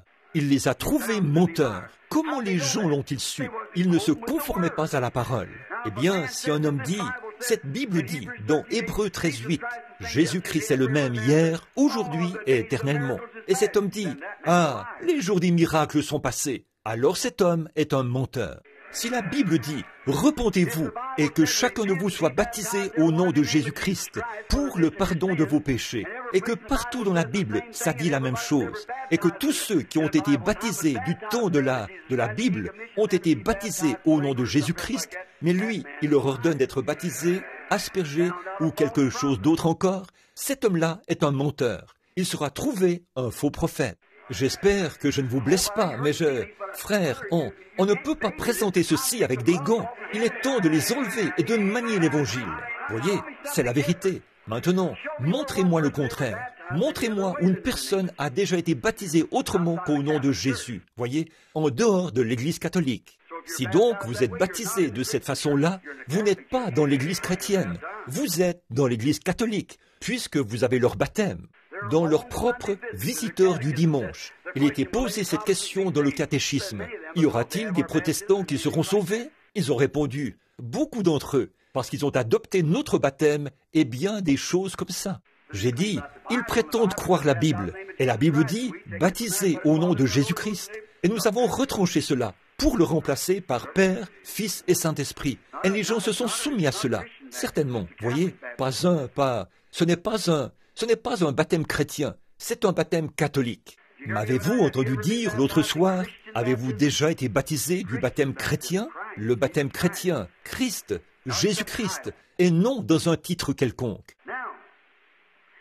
Bon, le verset 3, là. Très bien, les versets 2 et 3. Maintenant, le verset 3. Que tu as de la persévérance, que tu as souffert à cause de mon nom, et que tu ne t'es point lassé à cause de mon nom. Avez-vous remarqué qu'ils avaient de la persévérance? Ils ont souffert à cause de quoi? Son nom. Voyez-vous que ce nom demeure dans cette Église? Maintenant, observez bien, au cours de la semaine, comment cela a été progressivement abandonné au profit d'un autre nom. Voyez, que tu as de la persévérance, que tu as souffert et tout à cause de mon nom. Ils, ils ont souffert à cause de son nom. Pour garder le nom de Jésus-Christ au-dessus de toute Église, au-dessus de toute autre chose, qu'il ait la première place. Quoique, a dit la Bible, quoi que vous fassiez, en parole ou en œuvre, faites tout au nom de Jésus-Christ. Est-ce vrai? Quoi que vous fassiez, en parole ou en œuvre, si vous célébrez un mariage, le mariage de quelqu'un, si vous ne le pouvez pas, s'il y a de la confusion au sujet de leur mariage, ne les mariez pas du tout. Voyez, si vous ne pouvez pas dire librement, je vous déclare mari et femme au nom de Jésus-Christ. Laissez ça tomber. Très bien. Si vous voulez les baptiser, baptisez-les au nom de Jésus. Si vous devez faire quelque chose que vous ne pouvez pas faire au nom de Jésus, ne touchez pas à ça. Quelqu'un dit, prends un petit verre. Vous ne pouvez pas faire ça au nom de Jésus. Alors, ne touchez pas à ça. Quelqu'un dit, joue un peu aux cartes. Vous ne pouvez pas faire ça au nom de Jésus. Alors, ne touchez pas à ça. Une petite plaisanterie obscène à votre partie de bridge. Vous ne pouvez pas faire ça au nom de Jésus. Alors, ne touchez pas à ça. Voyez, vous ne pouvez pas porter des shorts au nom de Jésus. Alors, ne touchez pas à ça. Je pourrais continuer, mais nous, vous savez de quoi je parle. Très bien. Vous ne pouvez pas faire ça. Ce que vous ne pouvez pas faire en son nom, ne touchez pas à ça. En effet, il a dit, quoi que vous fassiez, en parole et en œuvre, faites tout au nom de Jésus-Christ. Très bien. Nous allons maintenant, c'est le, il les a félicités pour cela. Je vais maintenant parler du reproche, là, au chapitre 4, ou plutôt au verset 4. Mais ce que j'ai contre toi, c'est que tu as abandonné ton premier amour.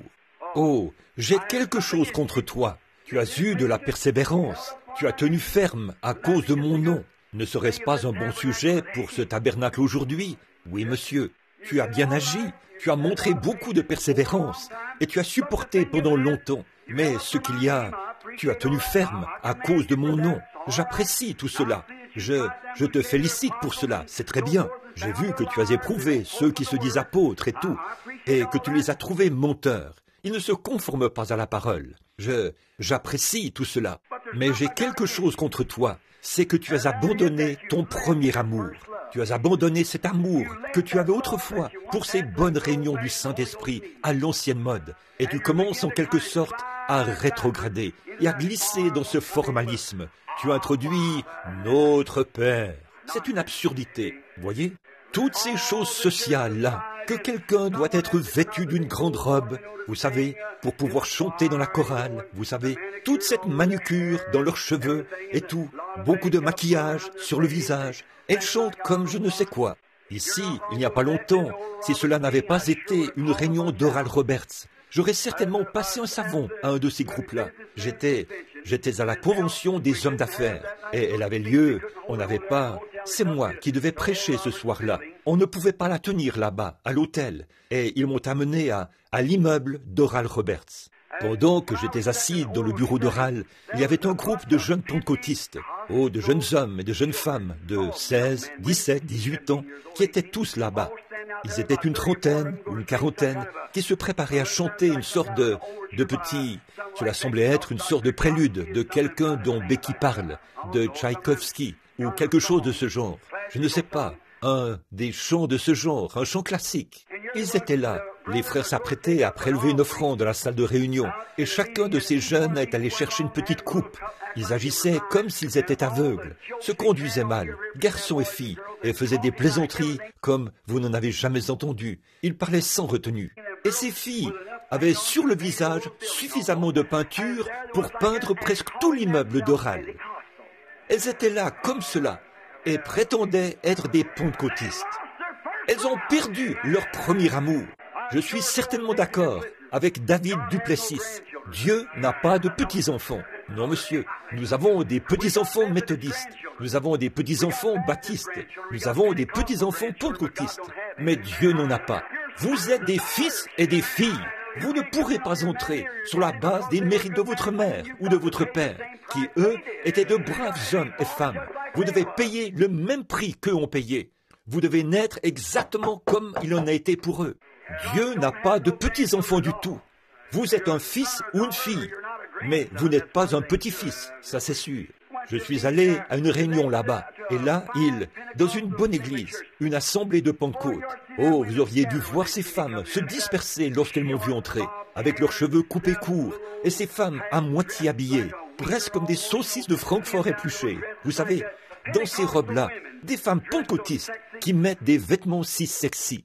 Vous aurez à répondre de cela au jour du jugement. Vous serez coupable d'avoir commis adultère. Car Jésus a dit, quiconque regarde une femme pour la convoiter a déjà commis un adultère avec elle dans son cœur.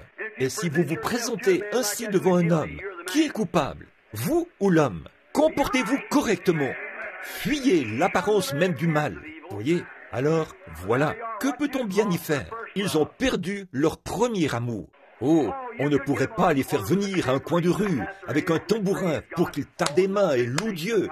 Oh non, ils préféreraient chanter quelque chose de classique, vêtus d'un tas de vêtements. Voyez, ils ont perdu leur premier amour. C'est ce qui ne va pas dans la première église. Voyez Ils ne peuvent pas s'empêcher d'agir comme le monde. Il leur faut s'habiller comme le monde, ressembler au monde, agir comme le monde. Ils ont leur vedette préférée de la télévision, vous savez. Ils ne peuvent pas s'empêcher de la regarder. Nous aimons Suzy, ou quelque chose de ce genre, vous savez. Il leur faut absolument regarder cela. Au lieu d'aller à la réunion de prière et tout, ils préfèrent rester à la maison pour regarder cela. Sinon, ils passeront tout un savon à leur pasteur pour qu'il les laisse partir tôt, avant le début de cette émission, afin qu'ils aient le temps de rentrer à la maison pour la regarder. Aimons le monde plus que Dieu. Oh, trop de formalisme. Elles ne peuvent plus dire Amen. Bonté divine, ça pourrait abîmer leur maquillage. Voyez, ils ne l'ont plus. Voilà les pentecôtistes. Il ne s'agit pas des baptistes. Ils ne l'ont jamais eu pour commencer. Les, les presbytériens. Je parle des pentecôtistes. C'est vrai. Je sais que c'est vraiment dégoûtant, frère. Mais nous voulons qu'une naissance se produise à l'issue de ceci. Pour obtenir une naissance, il faut au préalable la mort. Voyez, voyez, c'est la vérité. Mais voilà, tu as abandonné ton premier amour. Je, si Dieu avait cela contre cette église-ci, il a cela contre celle-là aussi puisque tu as abandonné ton premier amour. C'est ce que j'ai contre toi. J'ai quelque chose contre toi. Voilà mon reproche. Autrefois, tu as eu des moments glorieux, mais tu, as laissé le monde commencer à s'infiltrer et tu t'es mis à agir de manière un peu formaliste. Tu gardes encore mon nom et tu fais encore ce qui est juste. Tu montres beaucoup de persévérance et tout. Tu travailles. Tu es comme un mulet. Tu travailles beaucoup et tu fais des œuvres. Oh là là, là là, là. Voyez, vous avez abandonné la grâce, la foi et la puissance pour les échanger contre le travail et les œuvres. Eh bien, je vous le dis, frère Branham, je j'aide toutes les veuves que je peux. Eh bien, c'est une bonne chose. Je vous félicite pour cela. Mais où est ce premier amour que vous aviez autrefois? Oui, oui. Où est cette joie que vous aviez dans le passé Comme David s'est écrié une fois, Ô Seigneur, rends-moi la joie de mon salut. Où sont passées vos réunions de prière qui durent toute la nuit et les larmes sur vos joues. Oh, miséricorde. La Bible est même poussiéreuse et elle est couverte de toiles d'araignée. Vous lisez des histoires d'amour, les nouvelles et tout, des choses qu'on ne devrait même pas permettre de publier, qui sont juste bonnes pour la, la poubelle. Et nous, les pentecôtistes, nous les prenons et nous fonçons là-dessus comme un essaim de mouches sur une poubelle. C'est vrai. Oh, miséricorde Ce qu'il nous faut, c'est revenir à notre premier amour, revenir à la Pentecôte.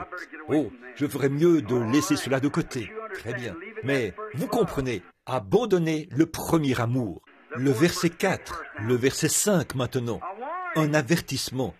Le verset 5, c'est un avertissement. Souviens-toi et repens-toi. Voyez?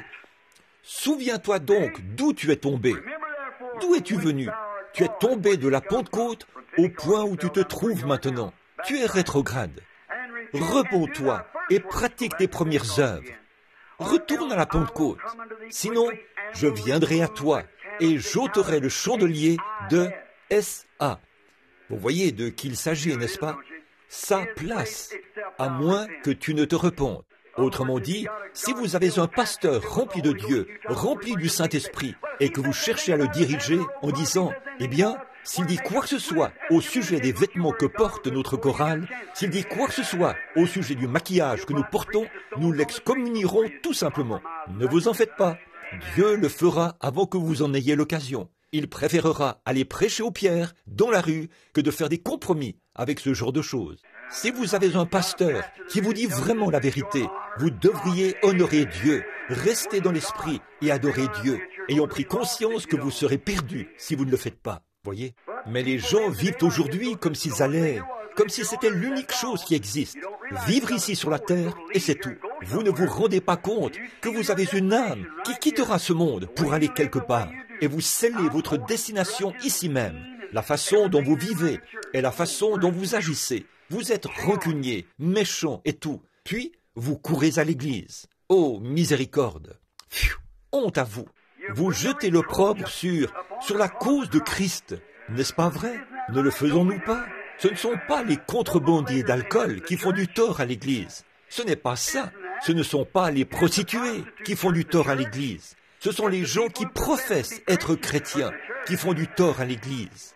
Nous savons ce qu'est le contrebandier d'alcool et ce qu'est la prostituée. Quand nos sœurs s'habillent comme des prostituées, là, c'est différent. C'est ça qui fait du tort à l'Église. Quand un homme boit comme un contrebandier d'alcool, eh bien, c'est cela qui fait du tort à l'Église. Ils professent être chrétiens et ils font de telles choses. Les gens vous regardent. Ce nom, que celui qui prononce le nom de Jésus-Christ s'éloigne du péché. Voyez, éloignez-vous de ça. Oh, nous en sommes si loin, mes frères. Moi, vous, nous tous, nous sommes, nous sommes loin d'être ce que Christ veut que nous soyons. Et ici même, en ce jour, il est temps de mettre de côté tous les péchés qui nous enveloppent si facilement et de courir avec persévérance de la carrière qui nous est ouverte. Prédicateur, c'est vrai, mes frères, c'est tout à fait vrai. Souviens-toi et repens-toi. Sinon, j'ôterai la lumière de l'étoile de sa place. Quelle est sa place? Dans l'Église. Mais si tu ne te repens pas et ne retournes pas au point où tu étais au début, je t'enlèverai ton pasteur et je l'ôterai de sa place. Je le placerai quelque part ailleurs où son, où je ferai refléter ma lumière pour qu'elle brille. Hmm. N'est-ce pas solennel ça? Il est temps pour les églises de se repentir. Il est temps pour le pentecôtisme, doter de la chair bon nombre de ces petits érudits aux manières très raffinées, pour y placer des prédicateurs à l'ancienne mode, qui vous diront la vérité, qui ne seront pas là pour caresser tout le monde dans le sens du poil, se servir de l'église comme un gagne-pain, recevoir un gros salaire, ou quelque chose comme ça, et de la psychologie, et des courses de chevaux, des soupers où on sert de la soupe et tout. Il est temps de revenir à l'évangile, peu m'importe combien vous êtes peu nombreux, là où deux ou trois sont assemblés, je, je serai au milieu d'eux. Rebons-toi, sinon je viendrai et j'ôterai ton chandelier. Je l'éloignerai et l'enverrai ailleurs, faire briller sa lumière. Maintenant, le verset 6. Bon, c'est ici que nous aurons du fil à retordre. Eh bien, à moins que tu te repentes, il viendra et on verra le pasteur ailleurs. Tu as pourtant ceci. Maintenant, souvenez-vous. Oh, ne manquez pas ceci maintenant. Voici ce qui reliera tout le reste, jusqu'à maintenant où nous, cet âge-ci, où nous vivons maintenant. D'abord, est-ce que tout le monde se sent bien? Êtes-vous pressé? Bon, très bien, très bien. Faites donc preuve d'un peu de patience encore. Bon, merci. Tu as pourtant ceci. Il avait quelque chose alors, n'est-ce pas? Maintenant, qu'est-ce qu'ils avaient? C'est que tu hais les œuvres des Nicolaïtes, œuvres que je hais aussi. Tu hais ces œuvres des Nicolaïtes. Aujourd'hui, pendant que j'étais assis dans mon bureau là, j'ai noté quelque chose ici à ce sujet. Je veux que vous écoutiez attentivement maintenant. C'est quelques pages plus loin, ici. Le verset 6, c'est l'éloge et l'approbation c'est-à-dire Dieu et l'Église étaient d'accord sur une chose. Ils haïssaient les œuvres des Nicolaïtes. La vraie vigne, la vraie vigne, la vraie Église qui était dans cette Église d'Éphèse. Maintenant, souvenez-vous, chaque Église a des membres formalistes et chaque Église a des membres spirituels. Ce sont les jumeaux qui naissent au cours de chaque réveil et qui vivent dans chaque église. Ils ont commencé dans cet âge-ci pour terminer leur course dans cet âge-ci. Finalement, le formalisme a pris le dessus dans l'âge de Thyatire. Et Luther l'en a fait sortir de nouveau. Maintenant, cela revient de plus belle. Pouvez-vous voir cette religion formaliste? Il n'y a aucune différence entre cela et le catholicisme. C'est du pareil au même. Toutes les organisations se font massacrer en y entrant. Dieu n'a jamais fait de son Église une organisation. C'est exactement ce qu'ils essayaient de faire ici. Observez et voyez maintenant si ce n'est pas vrai. Cela vous montre à quel point une organisation est maudite. C'était, c'était une chose étrangère à la nouvelle Église, l'Église du Nouveau Testament. Voyez? Tu, pourtant, tu as pourtant ceci, c'est que tu hais les œuvres des Nicolaïtes, œuvres que je hais aussi. La vraie vigne haïssait les œuvres formalistes des Nicolaïtes. Dieu aussi. Ce qui était des œuvres dans l'église d'Éphèse, dans l'église des Éphésiens, est devenu une doctrine dans l'église de Pergame. À Éphèse, la première église, c'était une œuvre. Dans l'église suivante, c'est devenu une doctrine. Entendez-vous ça? Comprenez-vous cela maintenant? C'était une œuvre à Éphèse. Et observez, ici, à Pergame, c'est devenu une doctrine. Cela avait commencé tout petit ici. Bon, nous verrons dans un instant ce que c'était. Voici les loups dont Paul parlait, les œuvres des Nicolaïtes. Maintenant qu'elle décortiquons ce mot et voyons ce qu'il en est avant d'aller plus loin. Le mot Nicolaïte m'est un peu inconnu. J'ai consulté tous les lexiques grecs que je, j'ai pu trouver. Nicolaïte vient du mot Nikao. N-I-K-A-O. Attendez, je crois que je l'ai noté ici. N-I-K-A-O. Nikao, qui signifie conquérir ou vaincre. Nico, laït. Vaincre ou conquérir les laïcs. Ce qu'ils essayaient de faire ici, c'était de chercher à s'emparer de l'Église, où Dieu avait des pasteurs et où l'Esprit de Dieu agissait par des dons dans l'Église du Dieu vivant. Et là, ils jetaient les bases d'une doctrine selon laquelle il leur fallait des prêtres, des évêques, des papes et ainsi de suite. Dieu a dit qu'il haïssait cela. Aujourd'hui encore, il est cela. Les Nicolaïtes. Nikao, vaincre ou conquérir les laïcs. Les laïcs, c'est l'Église. Combien d'entre vous savent que les laïcs, c'est l'Église? Très bien. Vaincre, conquérir ou prendre la place des laïcs. Autrement dit, dépouiller l'Église de tout son côté sacré, de toute sa puissance, et attribuer cela aux prêtres. Laisser l'Assemblée vivre comme bon lui semble, mais seul le prêtre est celui qui est saint. Dépouiller du Saint-Esprit des gens qui ont des signes et des prodiges qui les accompagnent. Les en dépouiller et leur donner une sainte prêtrise. Les dépouiller du Saint-Esprit et le remplacer par une prêtrise. Vous voyez ce qu'il en était? C'était un. C'est finalement devenu, dans cette église-ci, c'était des œuvres.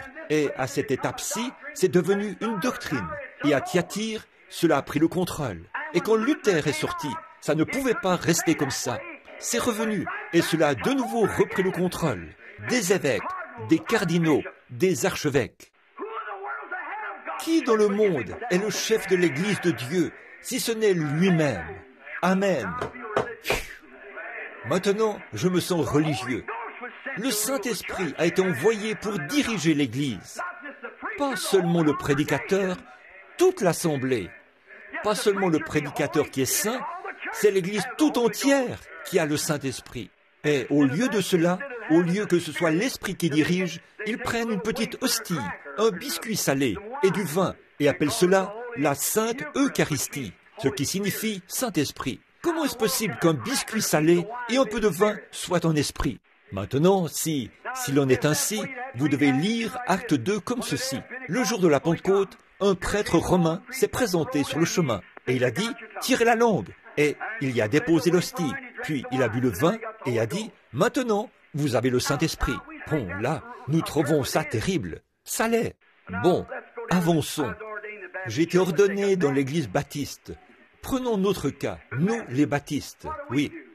Hmm. Les méthodistes, que faisons-nous?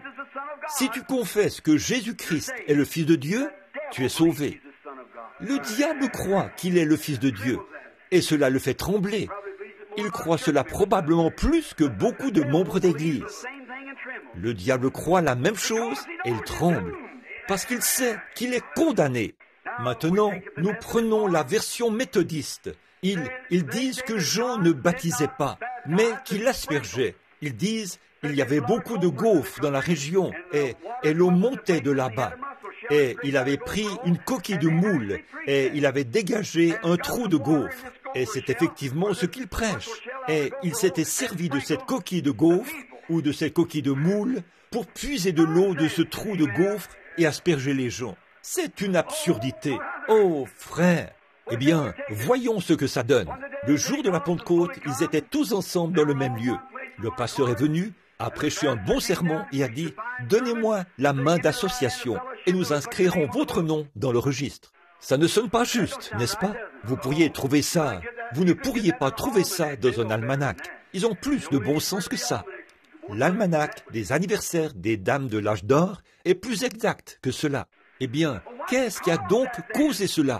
Les Nicolaïtes, qui ont introduit un groupe d'hommes pour tordre les Écritures et en faire une dénomination où Dieu ne peut pas agir. Elle meurt sur le champ. Et il a dit ici, tu es mort. Tu as un nom que tu fais vivre, mais tu es mort. Beaucoup d'entre eux sont morts et ne le savent pas. Moi et mon frère étions à la pêche quelque part par ici, quand nous étions de petits garçons. J'avais attrapé une vieille tortue serpentine et je lui ai coupé la tête. Je l'ai dégagée de la ligne. Je ne voulais avoir rien à faire avec ça. Je l'ai jetée là, sur la rive. Mon petit frère est venu et il a dit Qu'as-tu attrapé tout à l'heure? J'ai dit Une tortue. Il a dit Qu'est-ce que tu en as fait? J'ai dit Là-bas, elle gît là-bas, et sa tête gît là-bas. Et il est allé là-bas. Il a dit Est-elle morte? J'ai dit Bien sûr, sa tête a été séparée de son corps. Elle doit être morte. Il a donc ramassé un bâton et s'est mis à essayer de jeter la tête de cette tortue dans la rivière.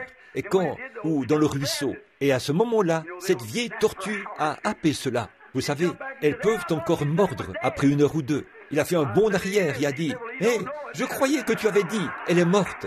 J'ai dit, elle l'est. Il a dit, eh bien, elle ne le sait pas. Non. Or, c'est le cas de beaucoup de gens. Ils sont morts et ils ne le savent pas. Des Nicolaïtes. Oh là là. Oh, il a dit, tu es cela.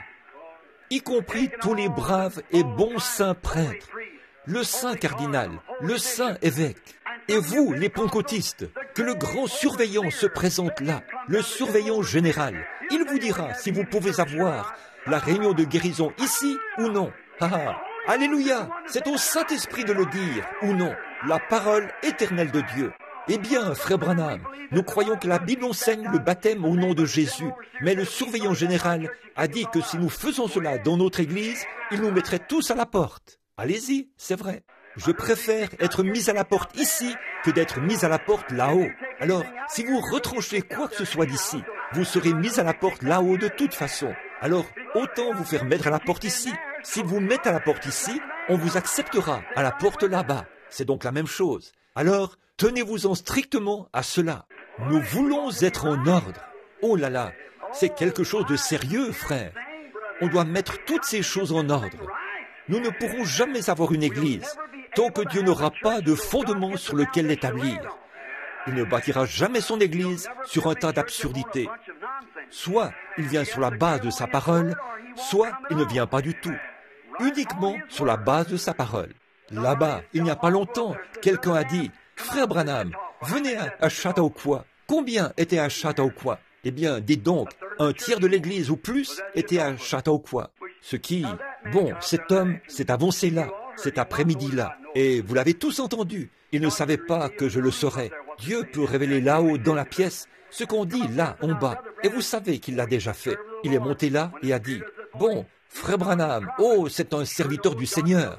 Quand l'Esprit est sur lui, c'est un prophète loin. Il sait où il se tient. Dieu lui dit ce qui est et ce qui sera. Mais sa théologie, n'écoutez pas ça. Quelle confusion. Comment un homme peut-il dire ça? Eh bien, je n'ai pas. Eh bien, même si on manquait de bon sens, on, on saurait qu'il en est autrement. Comment peut-on même penser à une telle chose? Pourquoi Car le mot prophète en soi signifie un révélateur divin de la parole. Comment peut-on La parole du Seigneur vient au prophète? Je n'ai jamais dit que j'en étais un. Ce sont eux qui l'ont dit. Mais vous y voilà, voyez? Comment un homme, pour soutenir une petite doctrine d'Église, parce que son organisation n'est pas d'accord avec cela, il vend son droit d'aînesse pour un plat de lentilles. Ésaü, misérable hypocrite. C'est vrai. Vous vendez votre droit d'aînesse pour un plat de lentilles, pour un plat de dénomination, un plat d'organisation que Dieu est. Souvenez-vous, quand vous dites organisation, Dieu est cela. C'est ce qui a séparé les frères et détruit. Ce soir, il y a beaucoup de méthodistes, de baptistes et de presbytériens qui aimeraient avoir de la communion autour de la table de Dieu. Mais s'ils le font, ils se feraient mettre à la porte dès l'instant qu'ils y auraient pris part. C'est tout à fait vrai. Maman en faisait partie. Et eux, ils ne sont que des petits-enfants au départ. Oh là là, peu m'importe de quoi maman a fait partie. Maman a vécu dans toute la lumière de son jour. Vous vivez dans un autre jour. Autrefois, il y a environ 300 ans, la science a prouvé en faisant tourner une balle autour d'un globe.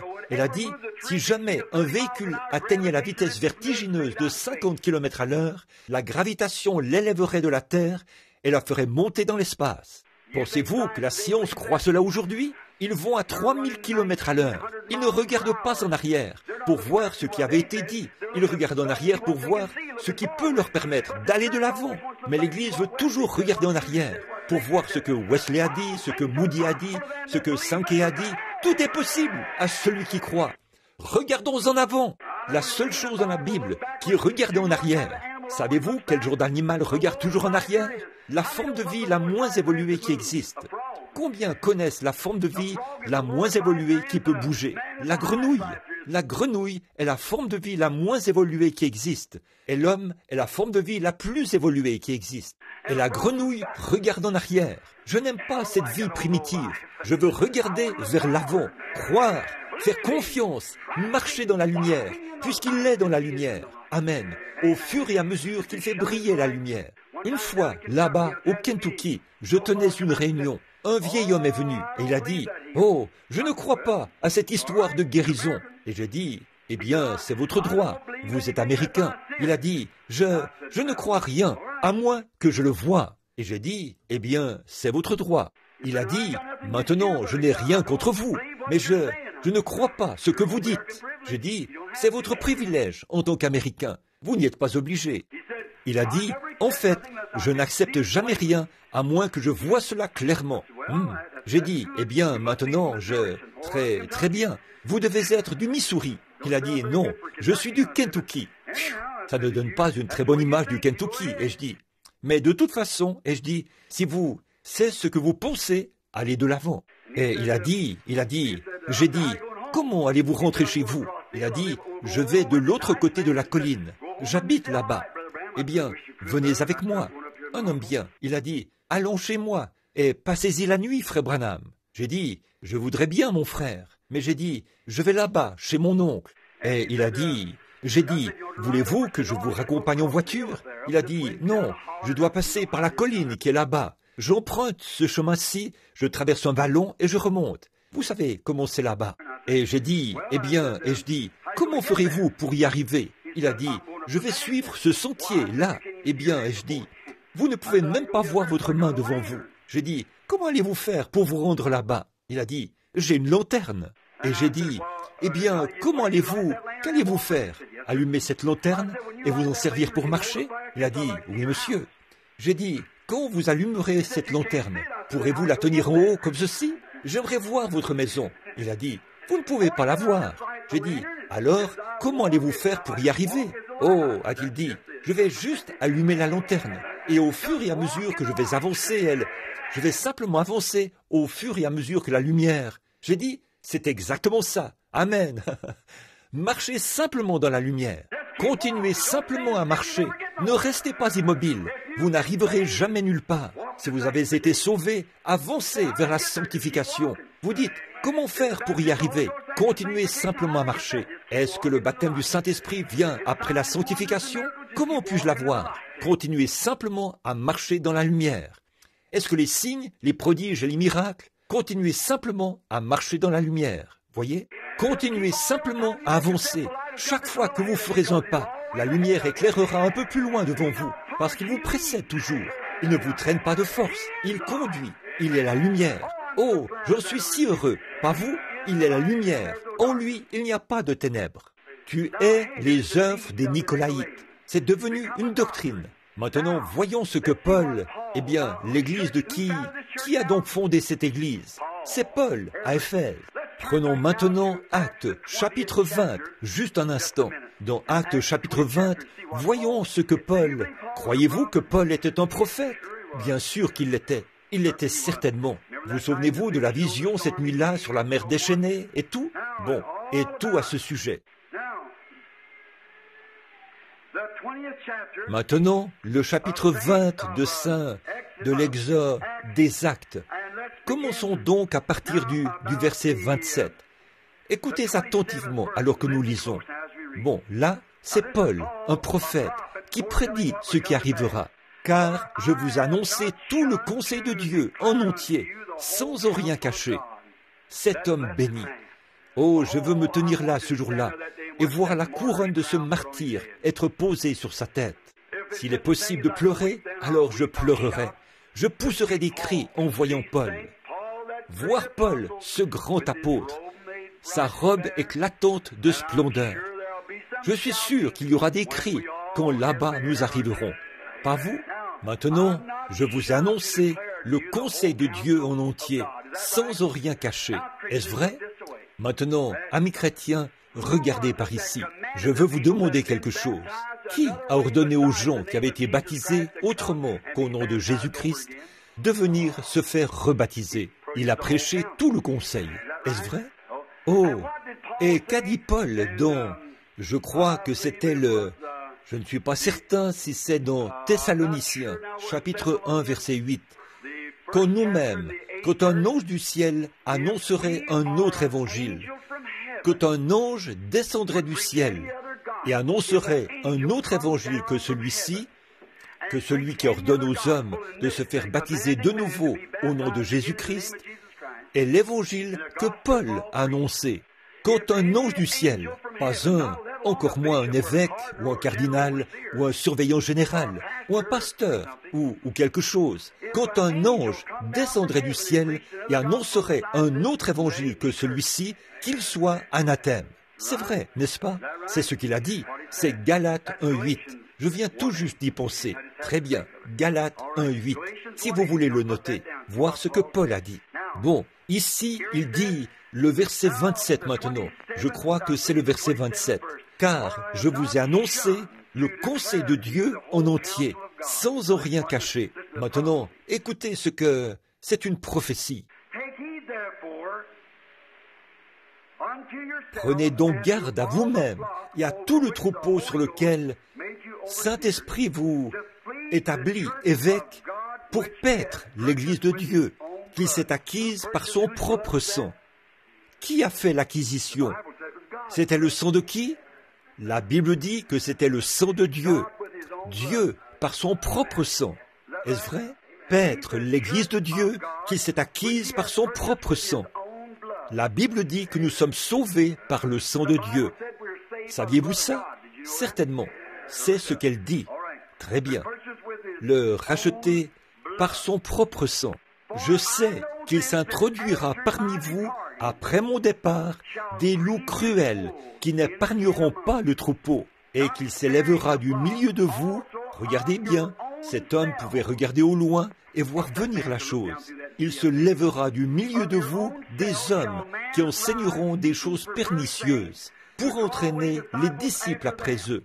Des années plus tard, comme il ou un groupe d'hommes qui veulent créer une organisation et ôter tout le, le caractère sacré et le Saint-Esprit de l'Église et l'attribuer aux évêques, aux papes, aux prêtres.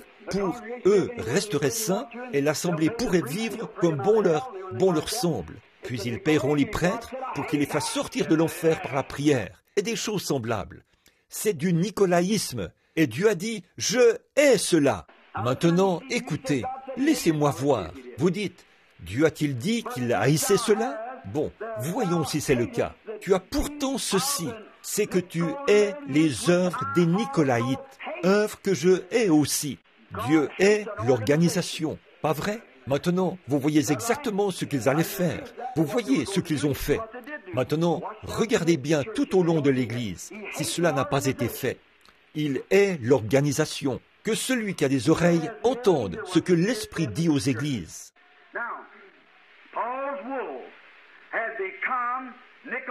Bon, les loups dont Paul parlait étaient devenus des Nicolaïtes.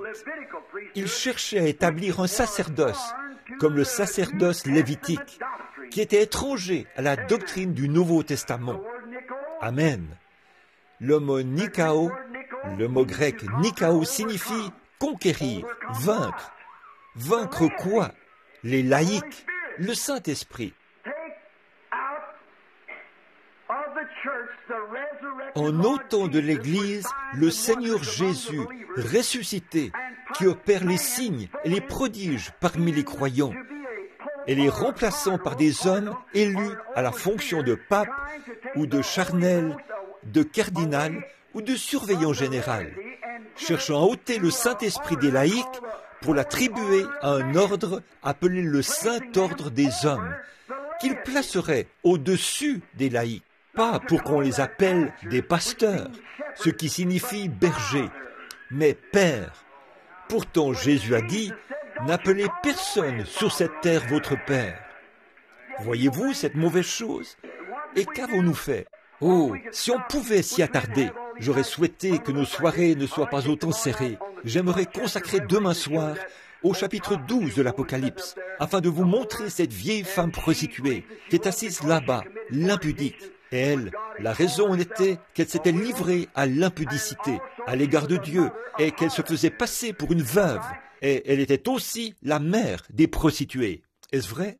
Or, nous savons que c'était Rome, parce qu'elle était assise sur cette colline, et que tout concorde parfaitement. Un homme s'y trouve, et il est le nombre de la bête, et ainsi de suite. Nous savons tout ça. De qui il s'agit d'après les enseignements précédents. Mais ce qui est triste, c'est qu'elle était la mère des prostituées. C'est ici même qu'elle a commencé, à Rome. Quand elle a commencé, c'était un groupe de chrétiens, de soi-disant chrétiens. Écoutez, oh Dieu, aide-moi à rendre cela clair. Un groupe de chrétiens dans une église comme celle-ci, ils sont devenus formalistes, indifférents, se sont retirés et ont formé une organisation. Puis, au cours de l'âge des ténèbres, ils ont uni cela à l'État. Alors l'État et l'Église sont devenus une seule quoi? l'Église chrétienne, qu'ils ont appelée la Sainte Église catholique. Le mot catholique, c'est, ce mot signifie universel, la grande Église chrétienne universelle. Ils appelaient les gens qui parlaient en langue et poussaient des cris et guérissaient les malades et ainsi de suite, des hérétiques. Et finalement, ils ont rendu la chose si contraignante que quiconque était surpris en train d'adorer comme cela était jeté dans la fosse au lion s'il refusait d'embrasser le catholicisme. Il en a été ainsi pendant les centaines d'années qu'a duré cette persécution. Mais cette Église-là n'est jamais morte. On ne peut pas la tuer. Dieu a dit qu'elle vivrait jusqu'à la fin et qu'ensuite il lui donnerait une couronne de vie. Elle a survécu à tous ces âges de persécution. Ensuite est arrivé Martin Luther pour continuer l'âge et il a fait sortir l'Église par la justification. Que s'est-il passé quand Luther est mort? Ils ont organisé cela et en ont fait une Église luthérienne. Ils ont une doctrine. Quand ils ont organisé cela, qu'ont-ils fait Ils ont de nouveau fait naître cela dans le romanisme. Tout à fait. Puis le Saint-Esprit a quitté cela, et Wesley l'a vu, et Wesley, et Whitfield, et George Whitfield, et beaucoup d'autres, et, et Asbury, et beaucoup d'entre eux étaient de grands revivalistes. Ils ont sauvé le monde à cette époque-là. Ils ont eu un réveil dans l'âge de Philadelphie, ce qui a sauvé l'Angleterre et les États-Unis aussi.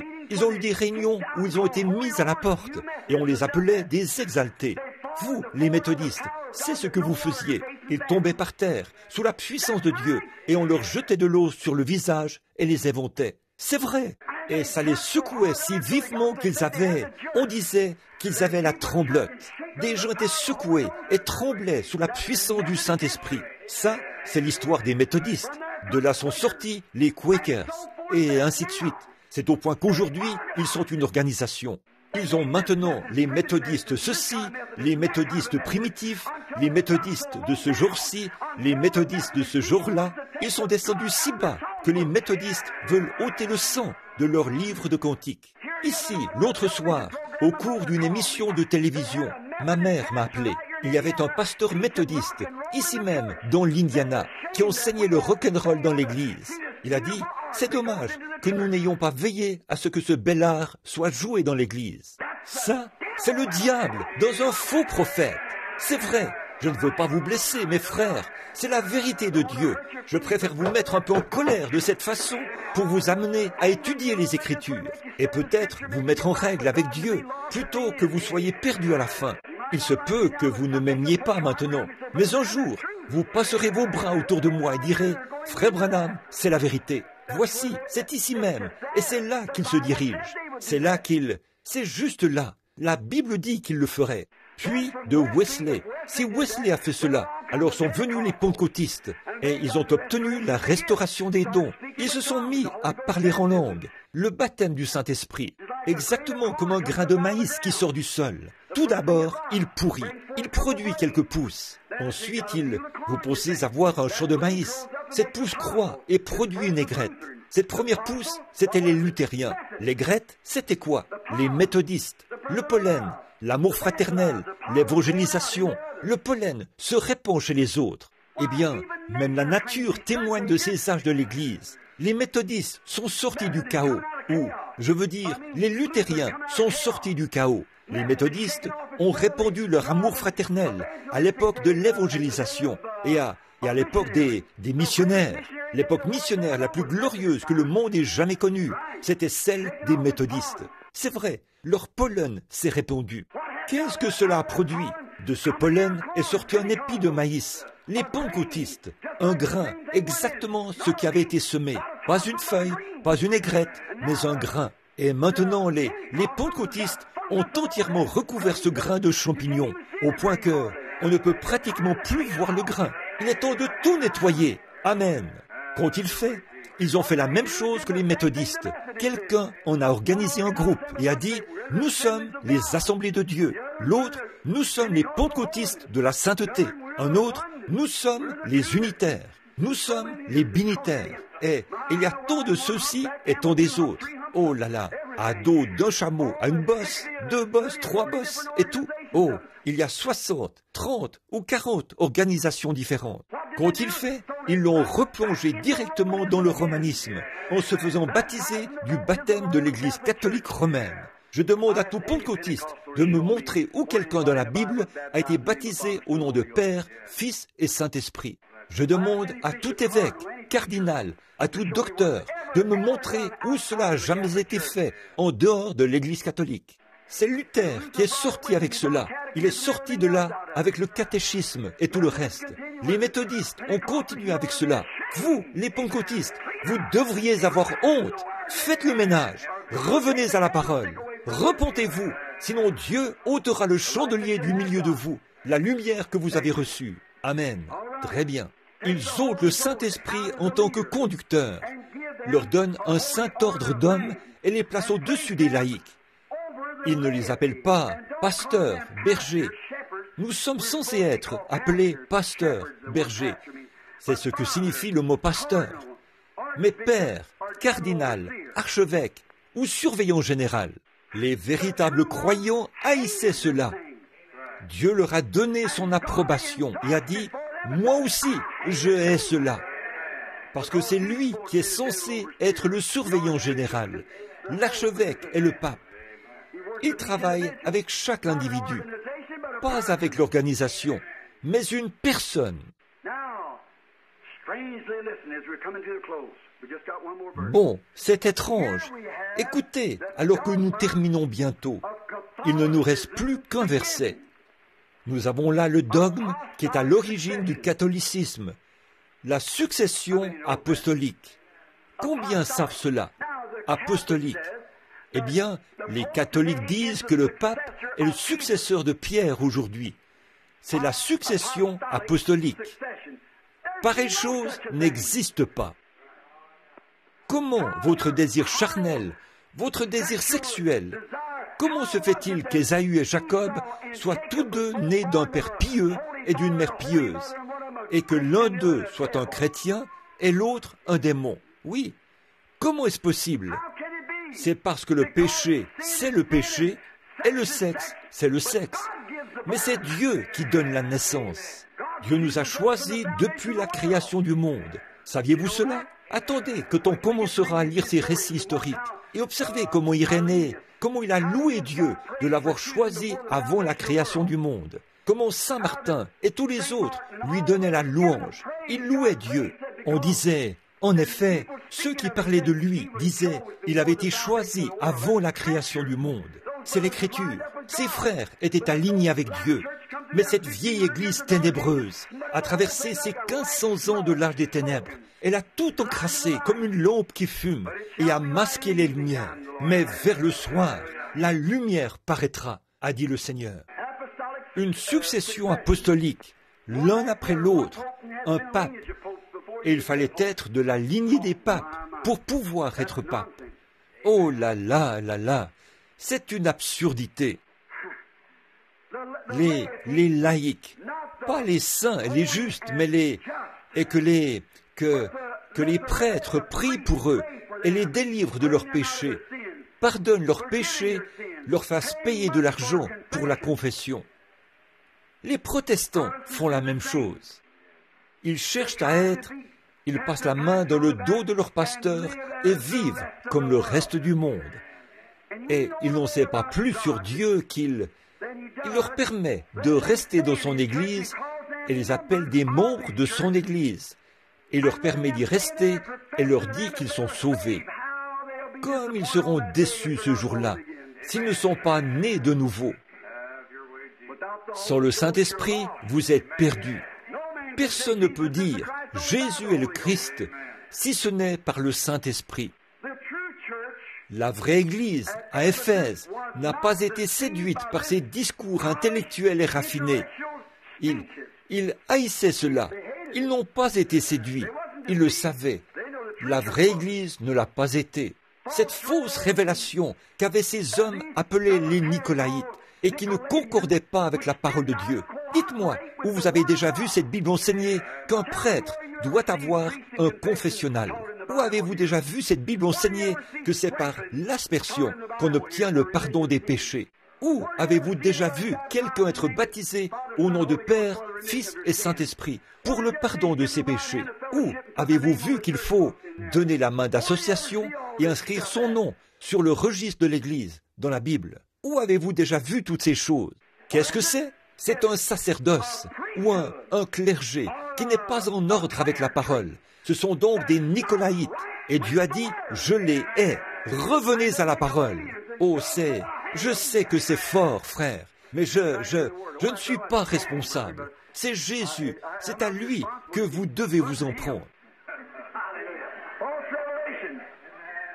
Une fausse révélation, non conforme à la parole. Mais on les a appelés menteurs, faux apôtres, faux prophètes. Mais la vraie Église s'en tenait à l'enseignement originel de Paul et au baptême du Saint-Esprit, avec des signes qui accompagnaient et qui confirmaient la parole que Paul enseignait. Amen. Montrez-moi où Dieu confirmera jamais l'aspersion. Montrez-moi où Dieu confirmera et accordera le parler en langue et les grandes choses, juste en serrant la main du pasteur quelque part et en inscrivant votre nom sur un registre, que on continue de chiquer, de fumer, de boire, de mentir, de jouer aux cartes, de se divertir un peu, d'aller, oh, miséricorde, c'est charnel, ce sont des faux prophètes, mes amis. Oui, monsieur. La voix de Dieu, c'est la sainteté. Que cela soit connu de tous les membres du corps de Christ ici. Tant que vous ne vivez pas une vie pieuse, Dieu refuse votre sacrifice. Le sacrifice doit être offert par des mains pures. C'est vrai.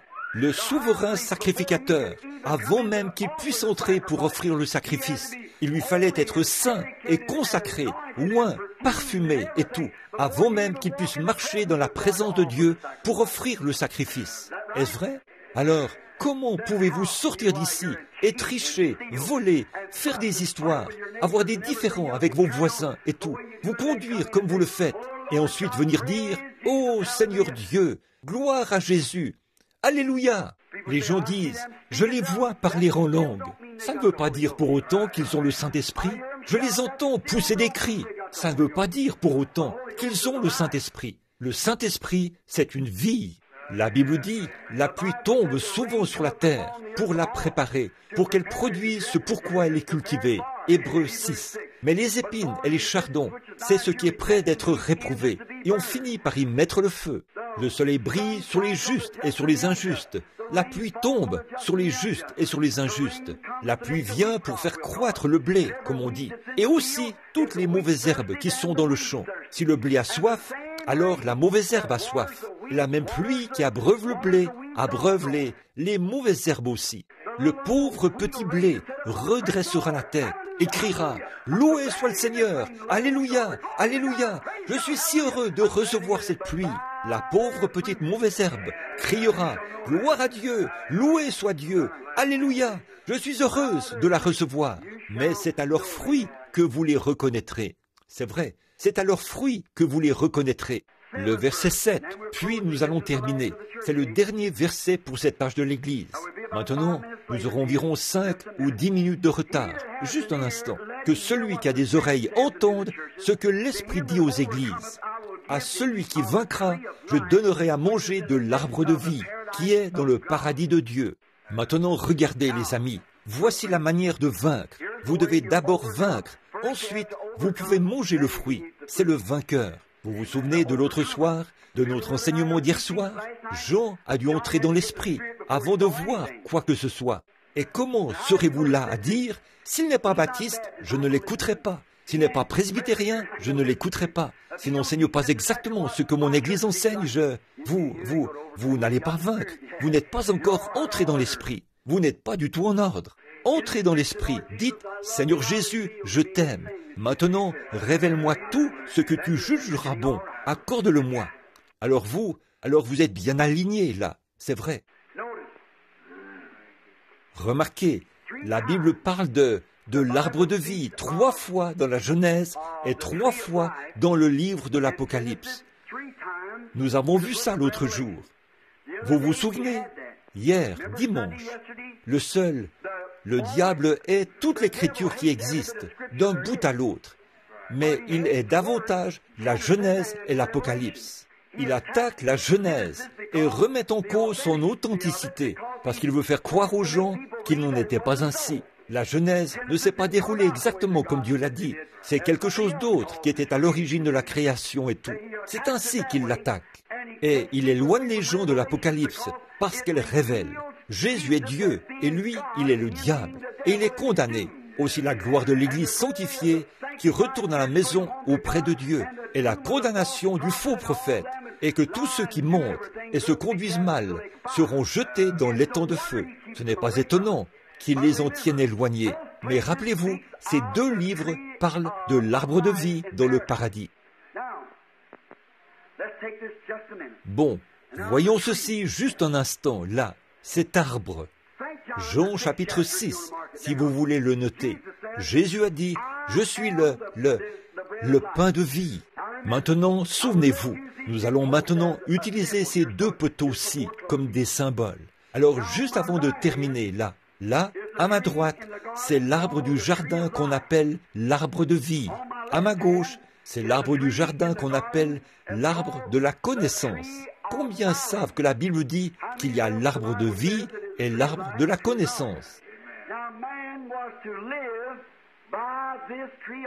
Or, l'homme était censé vivre par cet arbre de vie et ne pas toucher à l'arbre de la connaissance. Est-ce vrai? Et la première fois qu'il l'a touché, il s'est séparé de son Créateur. Il a perdu sa, communion avec Dieu quand il a pris sa première bouchée de connaissance. Bon, réfléchissez bien maintenant. Et vous qui prenez des notes, Je vais vous donner du temps pour que vous puissiez comprendre cela, parce que je ne veux pas que vous le manquiez. Jésus, dans Jean 6, il buvait à une source, et là, il levait les mains et se moquait, disant que leur père avait bu au rocher spirituel et tout. Il leur a dit, Je suis ce rocher qui était dans le désert. Et ils ont dit, Tu dis ici que tu étais avant Abraham, pourtant tu es un homme qui n'a pas plus de 50 ans, et tu dis que tu as vu Abraham Nous savons maintenant que tu es fou, tu es un démon. Voyez Il a dit, Avant qu'Abraham fût, je suis. Je suis était dans le buisson avec Moïse, le buisson ardent. Je suis. Avant qu'Abraham fût, je suis, pas j'étais.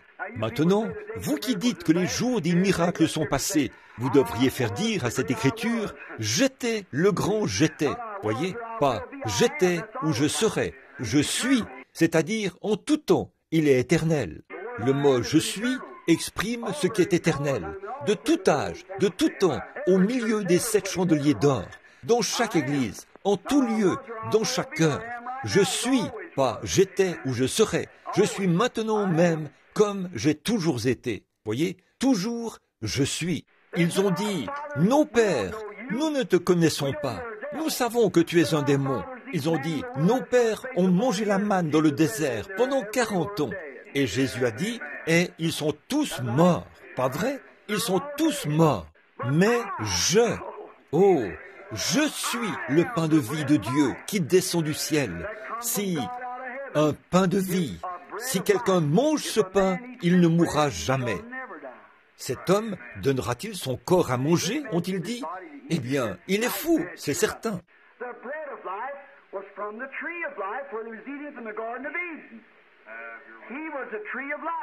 Le pain de vie provenait de l'arbre de vie dont il se nourrissait dans le jardin d'Éden. Il était l'arbre de vie. Maintenant, si l'arbre de vie était une personne, alors l'arbre de la connaissance était une personne. Dites maintenant que le serpent n'avait pas de semence. Si la vie est venue par l'homme, la mort est venue par la femme. Très bien, elle était l'arbre de la mort. Dès que, celui-ci l'avait souillé, et c'est ce qu'il avait fait, le serpent, elle a dit, le serpent m'a séduite. C'est vrai, pas un reptile. Il était le plus rusé de tous les animaux. Il était entre le chimpanzé et l'homme.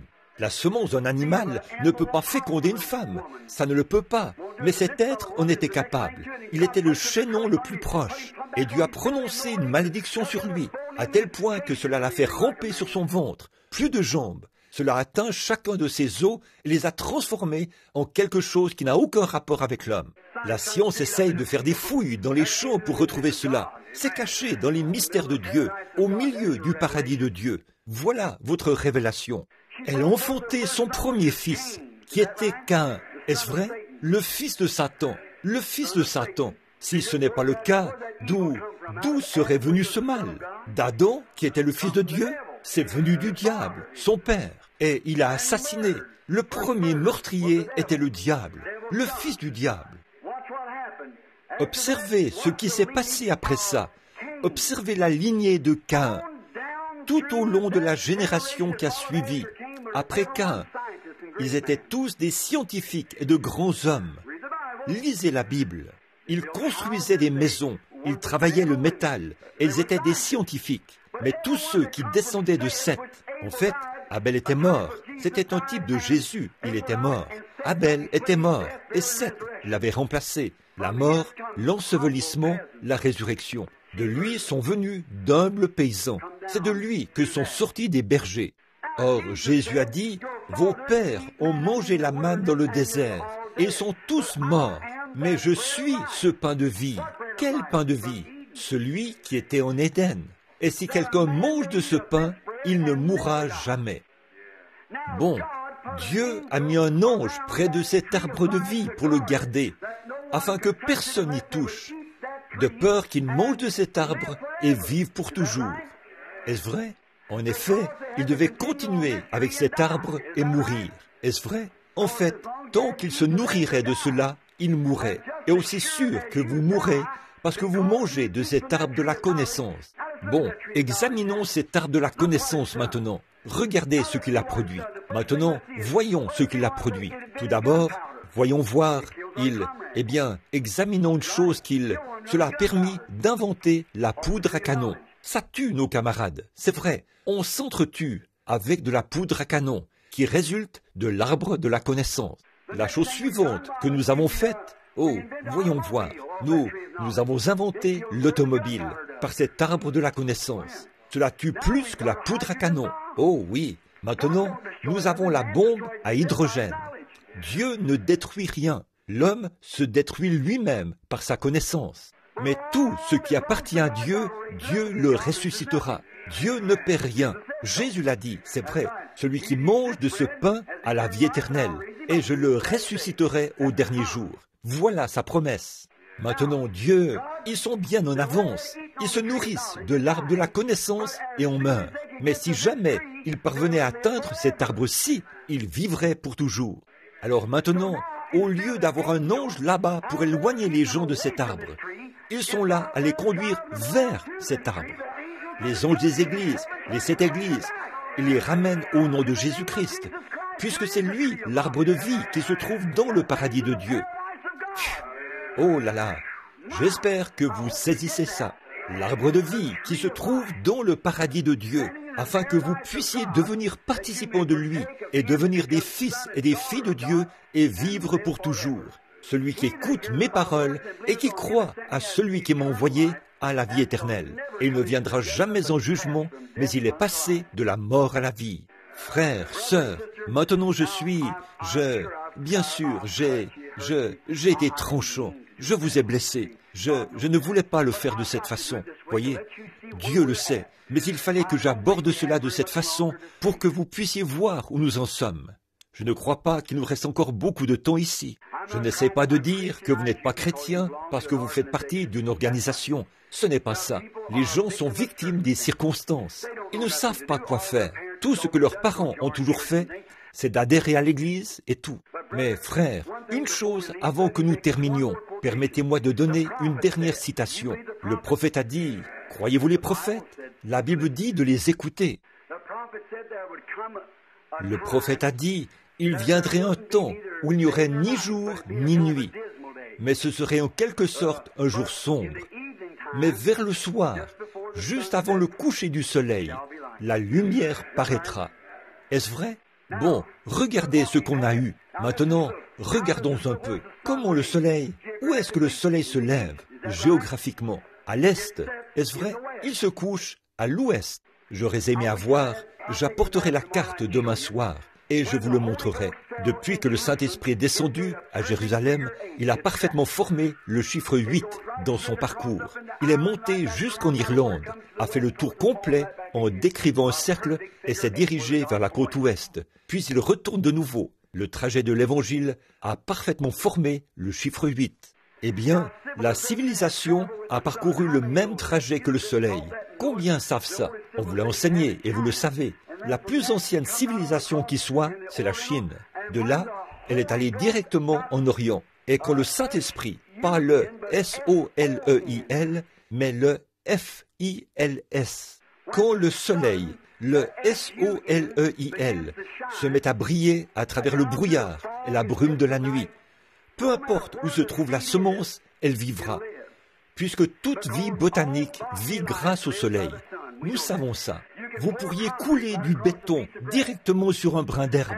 Et le printemps suivant, où est-ce que l'herbe sera le plus dense? Tout juste au bord du béton. Pourquoi? C'est cette vie qui était là-dessous. Vous ne pouvez pas cacher la vraie vie. Cette petite vie, dès qu'elle sait que le soleil luit quelque part, elle peut se frayer un chemin sur une distance de presque un demi-pâté de maison, se faufilant sous ce béton jusqu'à ce qu'elle puisse sortir la tête dehors et se mettre à louer Dieu. Vous ne pouvez pas cacher la vie. C'est vrai, la vie. Quand vous êtes né de nouveau, vous ne pouvez pas cacher cela. Quelque chose doit crier quand vous avez la vie.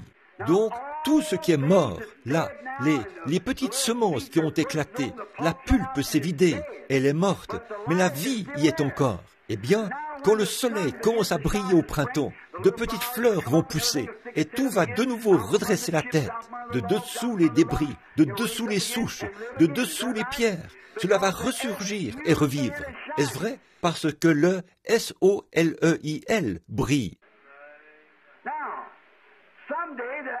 Bon, un jour, le F-I-L-S brillera. Lui qui est l'auteur de la vie éternelle.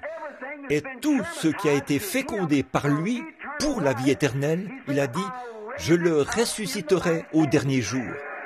Vous voyez ce que je veux dire?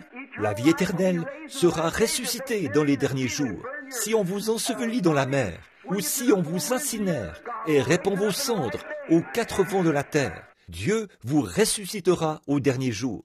Si vous devez remplir le ventre d'un lion affamé ou, ou entrer dans une fosse enflammée qui dévorera tous les, les, les 16 éléments du pétrole et les lumières cosmiques et tout ce qui est en vous, Dieu vous ressuscitera. Les cheveux même de votre tête sont comptés. Amen. Dieu les ressuscitera. Bon, regardez bien. Eh bien, si les hommes meurent par la femme, alors ils vivent par l'homme. Si vous avez part avec la femme à ce genre de vie, vous savez que vous allez mourir. Il n'y a pas moyen d'y échapper. Vous allez mourir. Et aussi sûr que vous prenez part à ceci, vous vivrez. Il n'y a pas moyen d'y échapper. Vous devez vivre. Amen. Si cela produit certainement la mort, ceci produit certainement la vie. C'est la seule façon de recevoir cela, c'est d'avoir la vie.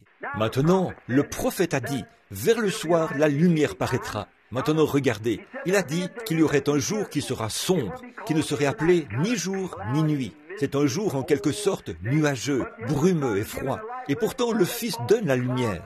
Loin, au-dessus de ces brouillards et de ces nuages et tout, le Fils donne la lumière. Il donne suffisamment de lumière pour que vous puissiez marcher et voir comment vous déplacer et tout. Et pourtant, ce, ce n'est pas une belle journée ensoleillée. Voyez Bon, presque rien ne peut vivre en ce jour-là.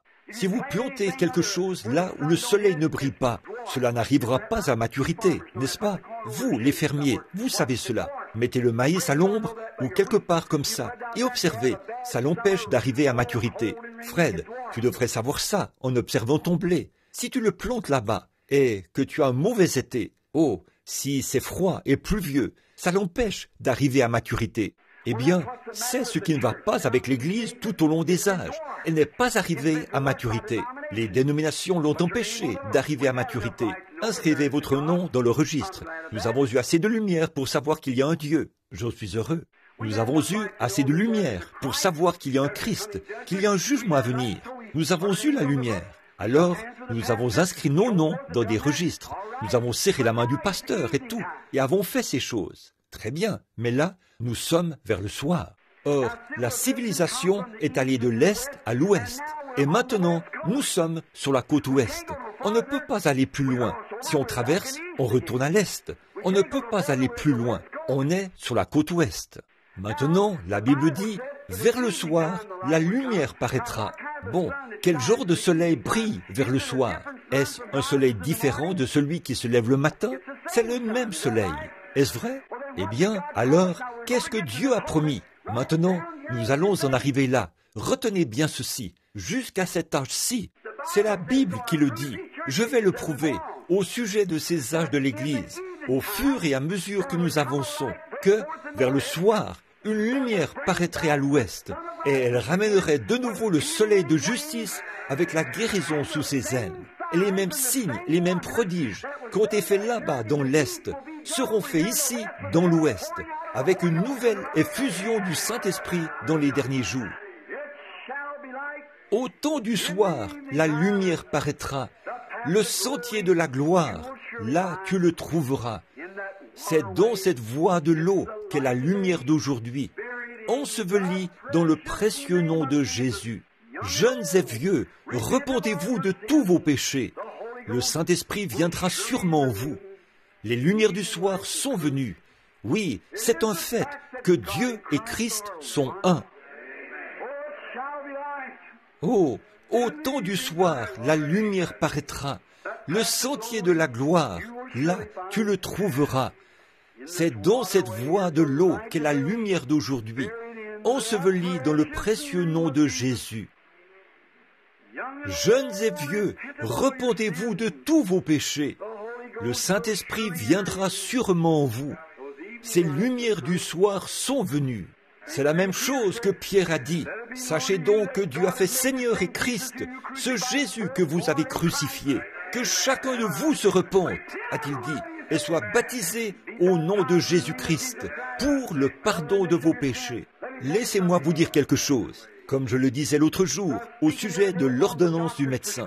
Les gens n'aiment pas prendre l'ordonnance du médecin. S'il a un, médicament qui va guérir votre maladie et que vous refusez de le prendre, ce n'est pas la faute du médecin si vous mourrez. Non, monsieur, c'est votre faute parce que vous avez refusé de le prendre.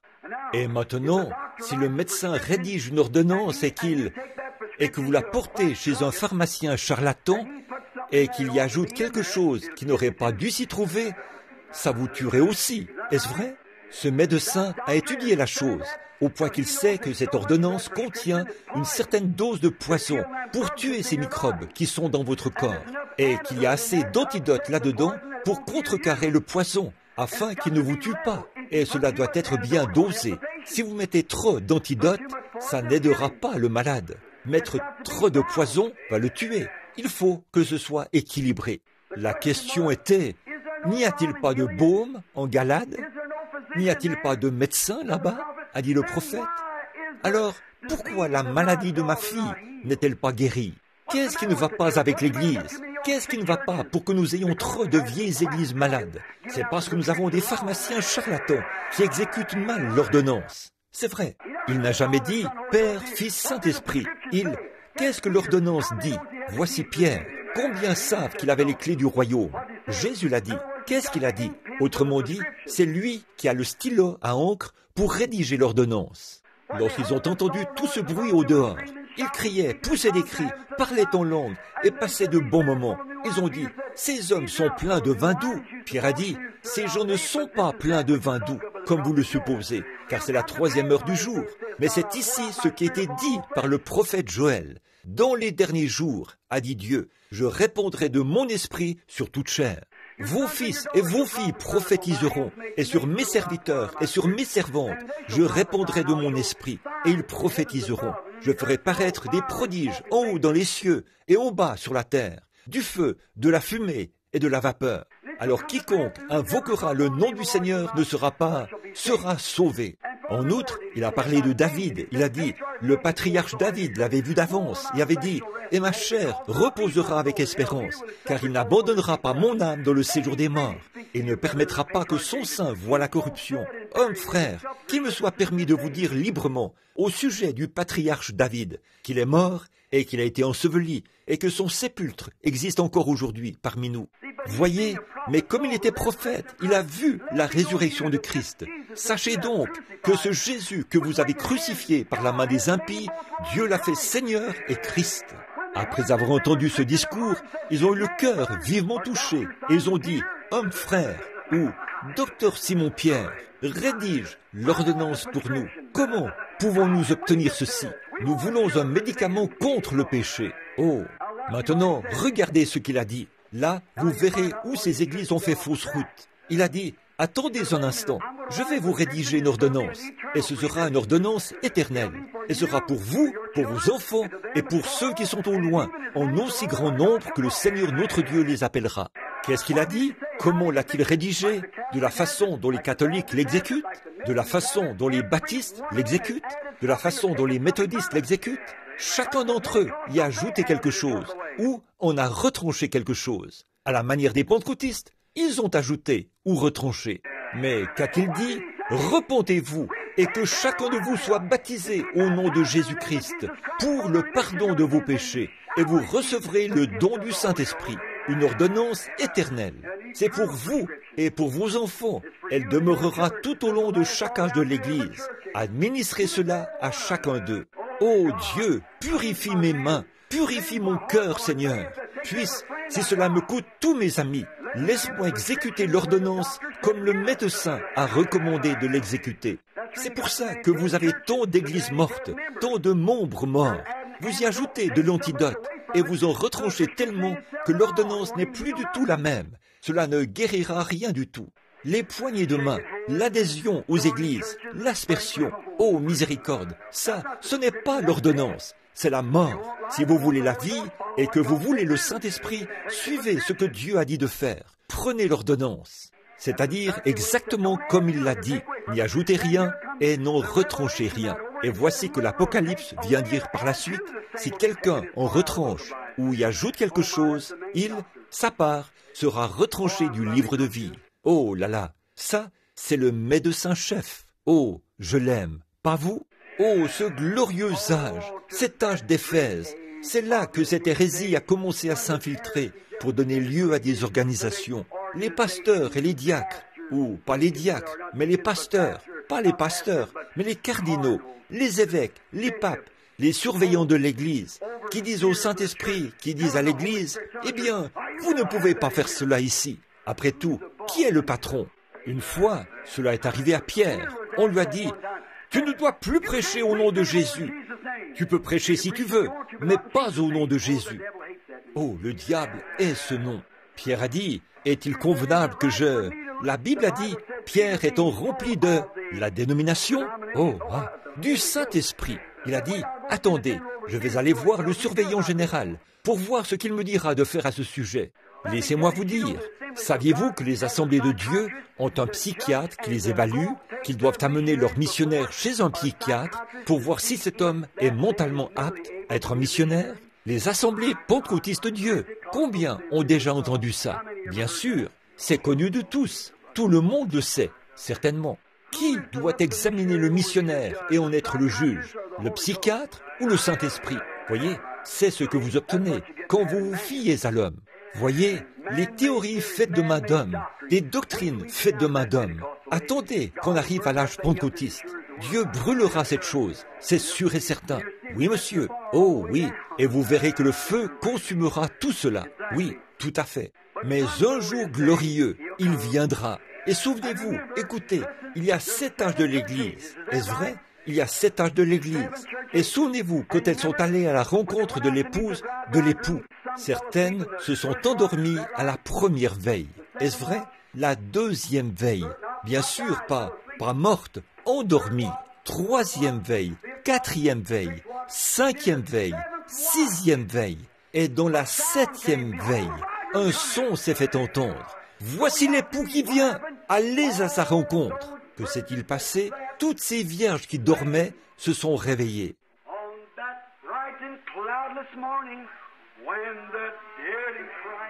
Sans nuage, les lumières du soir brilleront.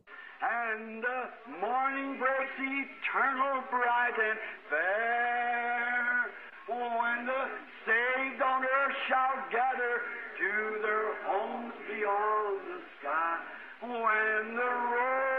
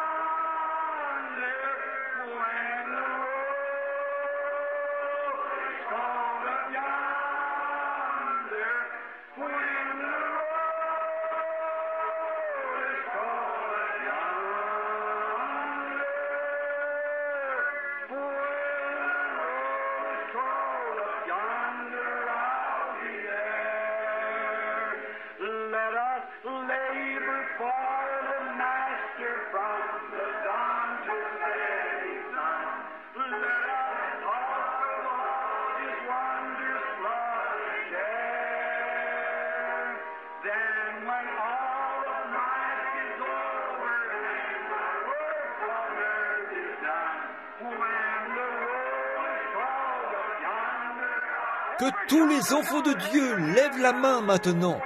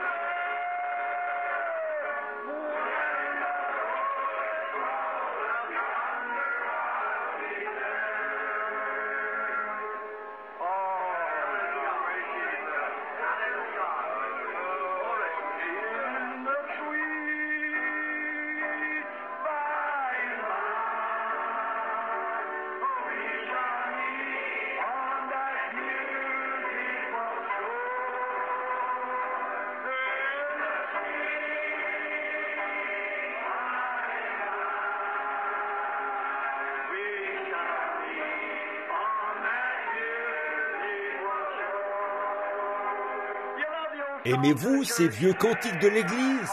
Oh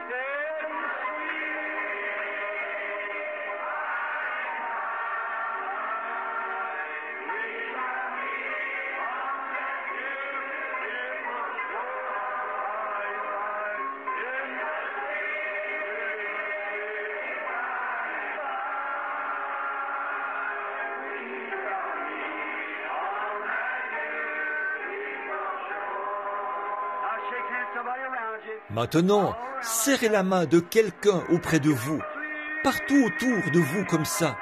C'est bien. Dites, je vous verrai mon frère.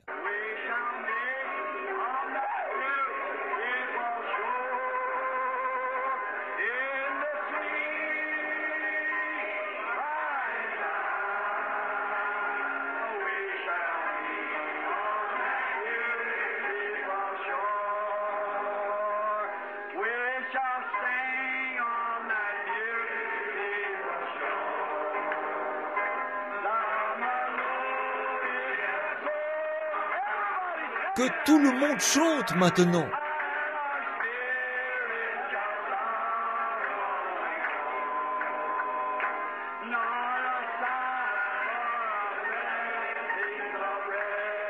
Tout le monde avec les mains levées.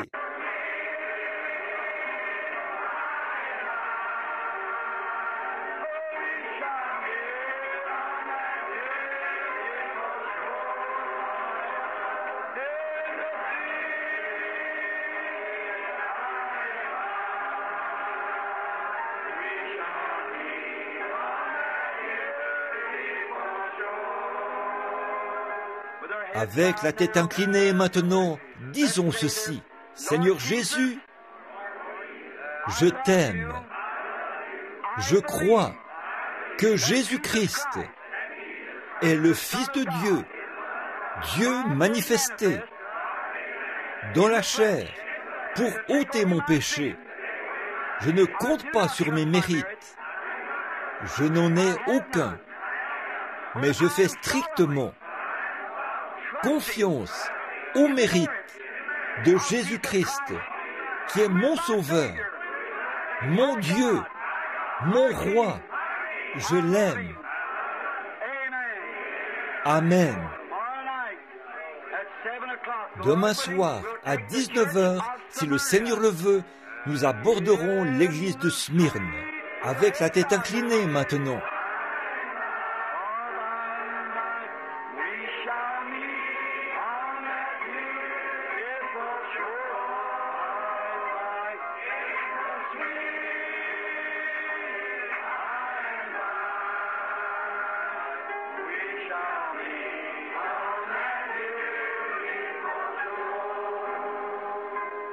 Maintenant, tout le monde, doucement,